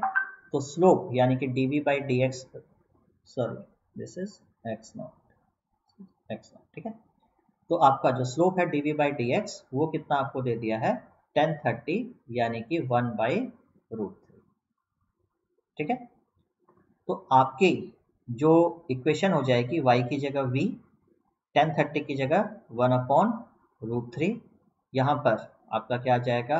x प्लस सी सी क्या होता है? इंटरसेप्ट यानी कि v नॉट तो ये आपकी क्या बन जाएगी? इक्वेशन लाइन की। और क्योंकि लाइन स्पीड और एक्स के बीच में है तो आपको वी और एक्स का रिलेशन मालूम चाहिए। यानी कि आपको वी कैसे मिल रहा है? fx आपसे पूछेगा एक्सेलरेशन एक्स पर कैसे डिपेंड करेगा? ठीक है? तो आपको मैंने बार बार बताया है कि एक्सेलरेशन निकालने के लिए बेटा दो तरीके होते हैं। ठीक है? एक्सलेशन निकालने के दो तरीके होते हैं। अगर v as a function of time दिया है तो एक्सेलरेशन निकाल लो कैसे? D v by d t करके, और अगर v as a function of x दिया है तो एक्सेशन निकाल लो कैसे? V d v by d x करके, और यहाँ पे कौन सा तरीका चलेगा? यहाँ पे ये वाला तरीका काम आएगा। ठीक है? तो अगर हमको निकालना ही पड़ेगा तो हम क्या कर लेंगे? A equals to v v की जगह क्या लिख लेंगे? One by root three x plus v naught और d upon d x of v v कितना है? One upon root three x plus v ठीक है? तो ये एक्सप्रेशन आपका आ जाएगा one upon root three x plus v naught into one upon root three. ठीक है? कांस्टेंट का डिफ्रेंशिएशन कितना होता है? ज़ीरो और एक्स का डिफ्रेंशिएशन वन। आपका जो एक्सेलरेशन है, आपका एक्सप्रेशन हो जाएगा one by three x plus v naught by root three that means अगर आपसे कोई पूछे कि ए एक्स ग्राफ कैसा होगा तो ए एक्स ग्राफ भी स्ट्रेट लाइन ही होगा। बस दो चेंजेस आ जाएँगे। क्या क्या चेंजेस आ जाएँगे? एक तो जो इंटरसेप्ट था, जो इंटरसेप्ट था, वो वी नॉट की जगह क्या हो जाएगा? V naught by root three और जो आपका थीटा था, जो 30 डिग्री ऑफ़ टेन, आपका जो थीटा आता था वो कितना आता था? Tan inverse one by root three. वो जो स्लोप है, स्लोप आपका चेंज होकर कितना हो जाएगा? वन बाई थ्री, यानी कि टेन थीटा आपका कितना हो जाएगा? One by three. और ए एक्स ग्राफ आपको इस तरह का मिल जाएगा। यानी कि दोनों में कोई खास डिफरेंस नहीं होगा। जैसा वी एक्स ग्राफ है, वैसा ही आपको क्या मिल जाएगा? वैसा ही आपको ए एक्स ग्राफ भी मिल जाएगा। ठीक है? यहीं पर एक थोड़ा सा चेंज आ सकता है क्वेश्चन में। क्या चेंज कर सकते हैं क्वेश्चन वाले? देखो, वो एक हल्का सा ट्विस्ट ला सकते हैं बेटा। आपका ग्राफ इस तरह से दे सकते हैं। सपोज़ वी नॉट और एक्स नॉट ये हो गया वी ये हो गया एक्स ठीक है? अब आप देखो, जो आपका स्लोप है ठीक है ना? स्लोप आपका एक्स एक्सिस से देखते हैं। तो ये स्लोप आपका नेगेटिव है, यानी कि स्लोप आपका हो जाएगा कितना? Minus v naught upon x naught है ना? है तो perpendicular perpendicular upon base but आपको, क्योंकि ये वाला एंगल देखना है, और यहाँ से, ठीक है? तो ये इतना आपको सबको पता होना चाहिए कि अगर आपकी लाइन एक्स एक्सिस से 90 डिग्री से कम बना रही है तो स्लोप क्या होगा? पॉजिटिव अगर 90 डिग्री से ज़्यादा बना रही है तो स्लोप क्या होगा? नेगेटिव इसको बाद में डिटेल में देखेंगे, ठीक है ना? अब यहाँ पर जब आप इक्वेशन लिखोगे तो y इक्वल्स टू फिर से इक्वेशन क्या होगी? M x plus c slope की जगह क्या हो जाएगा? Minus v naught upon x naught into x plus intercept फिर से कितना है? V. और जब a निकालोगे तो a क्या होगा? V d v by d x यानी कि minus v naught upon x naught into x plus v naught और इसी को फिर से क्या करना है? डिफ्रेंशिएट कर देना। तो जब डिफ्रेंशिएट करेंगे तो जैसे वहाँ पे वन बाई रूट थ्री आ गया था, यहाँ पे क्या आ जाएगा? Minus v naught upon x naught अब क्या हो जाएगा? जब आप इसको अंदर लाओगे तो ए बराबर आ जाएगा v naught upon x naught square into x minus v naught square upon x naught यानी यहाँ पर स्लोप हो जाएगा पॉजिटिव और इंटरसेप्ट हो जाएगा नेगेटिव तो जब आपसे ग्राफ पूछेगा तो जब आप ग्राफ बनाएँगे तो आप एक ऐसी लाइन खींच देंगे जिसका इंटरसेप्ट हो जाए नेगेटिव यानी कि नीचे से, और स्लोप हो जाएगा पॉजिटिव तो इस बार ये ग्राफ हो जाएगा। तो ध्यान रखिएगा, जब आपका ये ग्राफ था वी एक्स तो आपका ए एक्स ग्राफ कैसा आया था?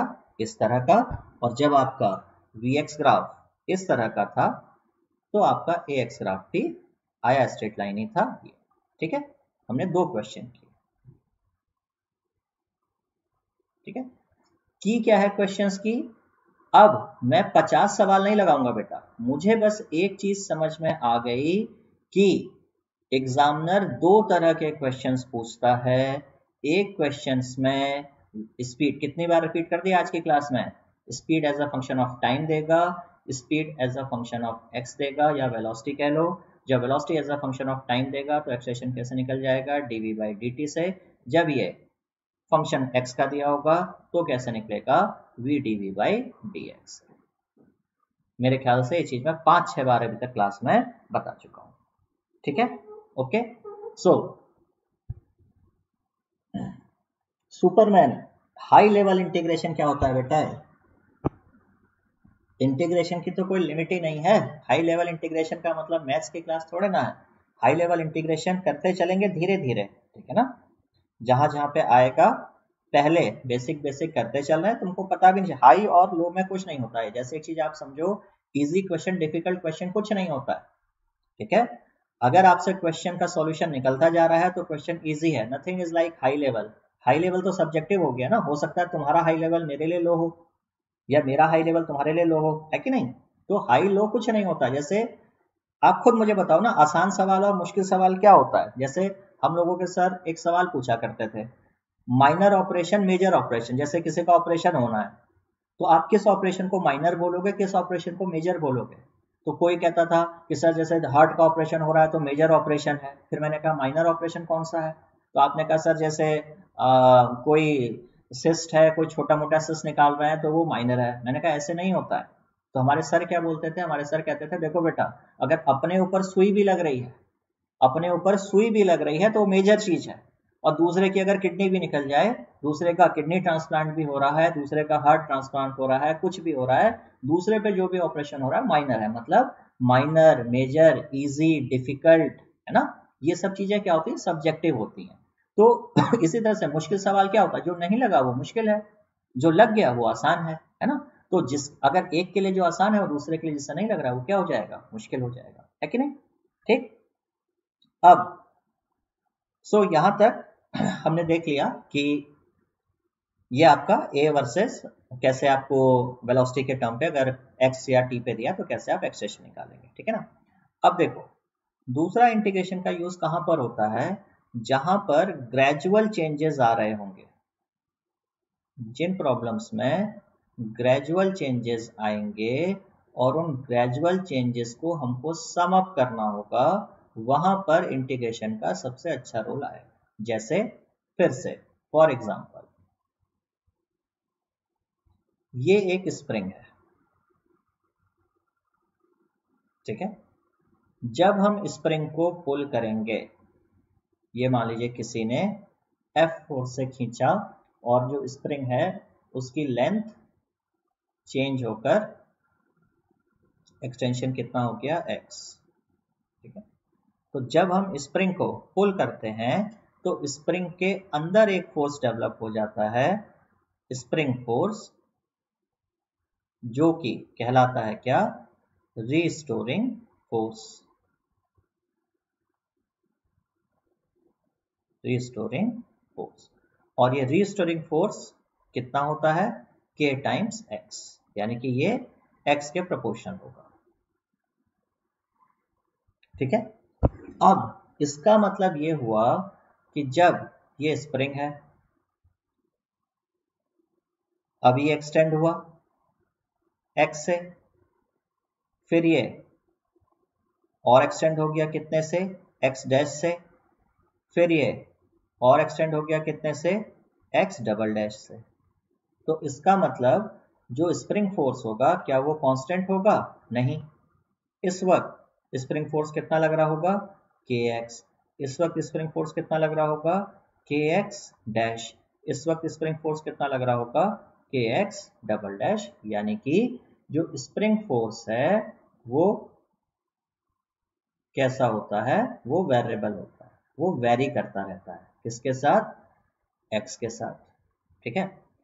अब हमको अगर एक एक्सप्रेशन दे दिया जाए कि वर्क डन क्या होता है? एफ़ डॉट एस या एक्स कुछ भी कह लीजिए। अभी मैं इस पर नहीं जा रहा हूँ कि वर्क डन क्या होता है, कैसे होता है, ठीक है ना? बस मेरे को सिर्फ़ एक एक्सप्रेशन दे दिया कि वर्क डन होता है एफ़ डॉट डी एस यानी कि F d s cos theta जहाँ पे थीटा एंगल होगा किसके बीच का? फोर्स एंड डीएक्स के बीच का। फोर्स एंड डीएक्स के बीच का। और हमसे बोला कि भाई किसी स्प्रिंग को, एक स्प्रिंग को, जबकि वो एक्स इनिशियल खींचा हुआ था वहाँ से एक्स फाइनल तक खींचने में what is the work done by spring force ये निकालो। What is the work done by spring force ये निकालो। ठीक है ना? तो अब यहाँ पर हम ऐसी प्रॉब्लम्स में क्या करते हैं बेटा? कि हम एक जनरल किसी भी पॉइंट पर आ जाते हैं और हम कहते हैं, मान लीजिए हमारा जो स्प्रिंग है, इस वक्त कितना खींचा हुआ है एक्स तो इस वक्त जो स्प्रिंग फोर्स लगेगा, वो अंदर की ओर, यानी कि टुवर्ड्स लेफ़्ट कितना लग जाएगा? के एक्स और मान लीजिए यहाँ से हम इसको थोड़ा सा खींच ले जाते हैं कितना? dx तो सबसे पहली बात तो थीटा कितना हो गया? थीटा हो गया 180 डिग्री तो अगर आप वर्क डन निकालेंगे तो वर्क डन होता है F d s cos theta जो कि हो जाएगा F d x cos 180 cos 180 minus one तो माइनस बाहर कर लो और एफ़ हो गया के एक्स डी एक्स ठीक है? और लिमिट कहाँ से कहाँ जाएगी? एक्स इनिशियल से एक्स फाइनल तो वर्क डन बाय स्प्रिंग अगर हम निकालें तो माइनस बाहर कर लो के कांस्टेंट है एक्स डी एक्स का integration x square upon two और लिमिट एक्स इनिशियल से एक्स फाइनल तो minus half k x final square minus x initial square तो this is the work done by spring अगर आप एक spring को x initial से एक्स फाइनल तक खींचते हैं तो this is minus half k x final square minus x initial square ठीक हो गया? और अगर हम स्प्रिंग को खींच देते कहाँ से? दिस इज़ वन एक्सप्रेशन बाद में इसको याद कर लेंगे। ठीक है ना? जब वर्क एनर्जी चैप्टर पढ़ेंगे तो इसको हम लोग याद कर लेंगे तो ये हमारा क्या बन जाएगा? देन जिस जिस चीज़ को हम याद करते चलेंगे मतलब जिस भी प्रॉब्लम के सॉल्यूशन को हम याद करते चलेंगे तो हमारा क्या बनता चलेगा? फॉर्मूला ठीक है? अब यहाँ पे स्पेशल केस क्या हो जाएगा? अगर हमारा एक्स इनिशियल ज़ीरो हो, यानी कि स्प्रिंग को आप x is equal to zero से पुल कर रहे हैं, और पुल करके एक्स फाइनल को कहाँ तक ले जाते हैं? एक्स तक। तो एक्स इनिशियल को ज़ीरो पुट कर दीजिए। उस केस में स्प्रिंग का वर्क डन कितना हो जाएगा? Minus half k x square. तो ध्यान रखिएगा, ये फॉर्मूला भी यूज़ कर सकते हैं, बट हमेशा फॉर्मूले का एप्लीकेशन याद रखिएगा, ये फॉर्मूला कब यूज़ करना है? जब एक्स इनिशियल ज़ीरो है तो बेटर ये है कि हमेशा वर्क डन का स्प्रिंग हम ये फॉर्मूला याद कर लेंगे तो इस तरह से बेटा क्या होगा कि जो इंटीग्रेशन वाला जो पार्ट है, ठीक है ना, आपको हर चैप्टर में यूज़ पड़ेगा, चाहे वो वर्क एनर्जी चैप्टर हो, चाहे वो थर्मोडायनेमिक्स हो, कहीं पर भी हो। अब इंटीग्रेशन नो डाउट कुछ सिंपल इंटीग्रेशन होंगे। कभी कभी क्या होगा, जब आप एसएचएम जैसा टॉपिक पढ़ेंगे तो एसएचएम में क्या होने लगेगा कि आपके पास सपोज़ इस तरह की इक्वेशन आ जाए। V equals to a sine omega t type का, ठीक है ना? और यहाँ पे अगर आपको कैनेटिक एनर्जी निकालने को बोले तो kinetic energy suppose half m v square होती है तो आपके पास क्या हो जाएगा? Half m a square sine square omega t ठीक है ना? अब, यहाँ पे अगर आपसे एवरेज पूछेगा या कुछ भी पूछेगा सपोज़ ये फ़ंक्शन को अगर आपको इंटीग्रेट करना पड़े, यानी कि अगर हमको sine square omega t d t को इंटीग्रेट करना पड़े तो कैसे करेंगे? ठीक है ना? इस पे क्वेश्चन मार्क है। ठीक है नहीं? हमारे पास दो फ़ंक्शंस आ जाए। सपोज़ हमारे पास साइन एक्स कॉस एक्स आ जाए। ठीक है ना? Sine x cos x d x तो कैसे करें? तो इंटीग्रेशन नो डाउट ये कंप्लीट नहीं हुआ है। बट अभी कम से कम हमने ये कह सकते हैं कि हमने जो बिल्डिंग ब्लॉक्स होते हैं बेटा, ठीक है ना? बिल्डिंग ब्लॉक्स माने कि किसी भी बिल्डिंग को खड़े करने में जैसे ए बी सी डी होती है, कम से कम हमने ए बी सी डी सीख ली, हमने सीख लिया कि अच्छा भाई ये सिंबल भी होता है।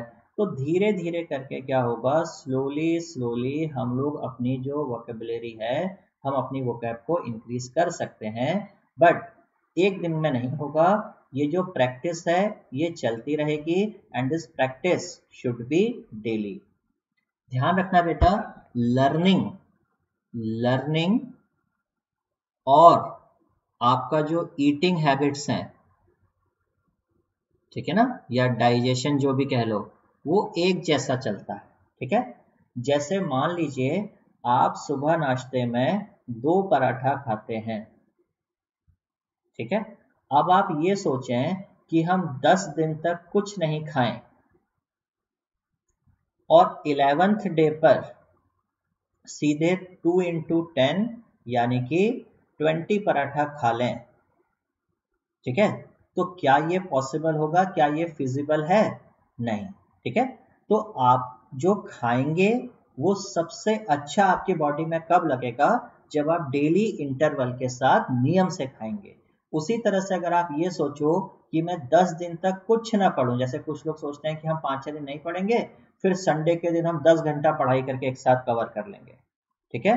तो ये पॉसिबल नहीं होता है। अगर आप चाहते हैं कि आपका अच्छा परफॉर्मेंस आए, अगर आप चाहते हैं बेटा कि आपका नीट 2021 में एक अच्छा परफॉर्मेंस आए, देखो, मैं फिर कह रहा हूँ कि मेरा पढ़ाना इस बात की गारंटी नहीं है कि मैं आपका सिलेक्शन करा दूँगा। I am not a magician ठीक है?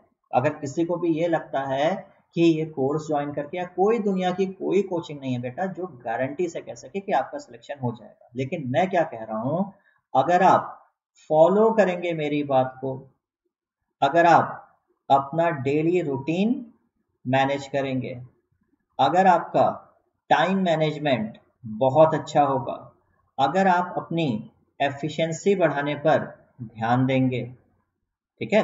एफिशिएंसी कैसे बढ़ेगी? इसमें मैं आपकी हेल्प कर सकता हूँ, ठीक है ना? टाइम मैनेजमेंट कैसे करना है? इसमें मैं आपकी हेल्प कर सकता हूँ, ठीक है ना? डेली रूटीन आप खुद से करेंगे फॉलो करने वाला काम आपको खुद से करना है, ठीक है ना? इसके बाद अगर आप एक बैलेंस बनाकर चलें, ठीक है? बैलेंस तीनों सब्जेक्ट में, कि डेली कुछ कुछ फिजिक्स भी कवर हो रहा है कुछ कुछ केमिस्ट्री भी कुछ कुछ बायो भी। प्लस जितना आप थ्योरी पढ़ रहे हैं और थ्योरी और एप्लीकेशन यानी कि प्रॉब्लम सॉल्विंग में अगर आप बैलेंस बनाकर चल रहे हैं तो बेटा मैं कह सकता हूँ कि आपके सिलेक्शन का जो परसेंटेज है, वो काफ़ी ऊपर जा सकता है।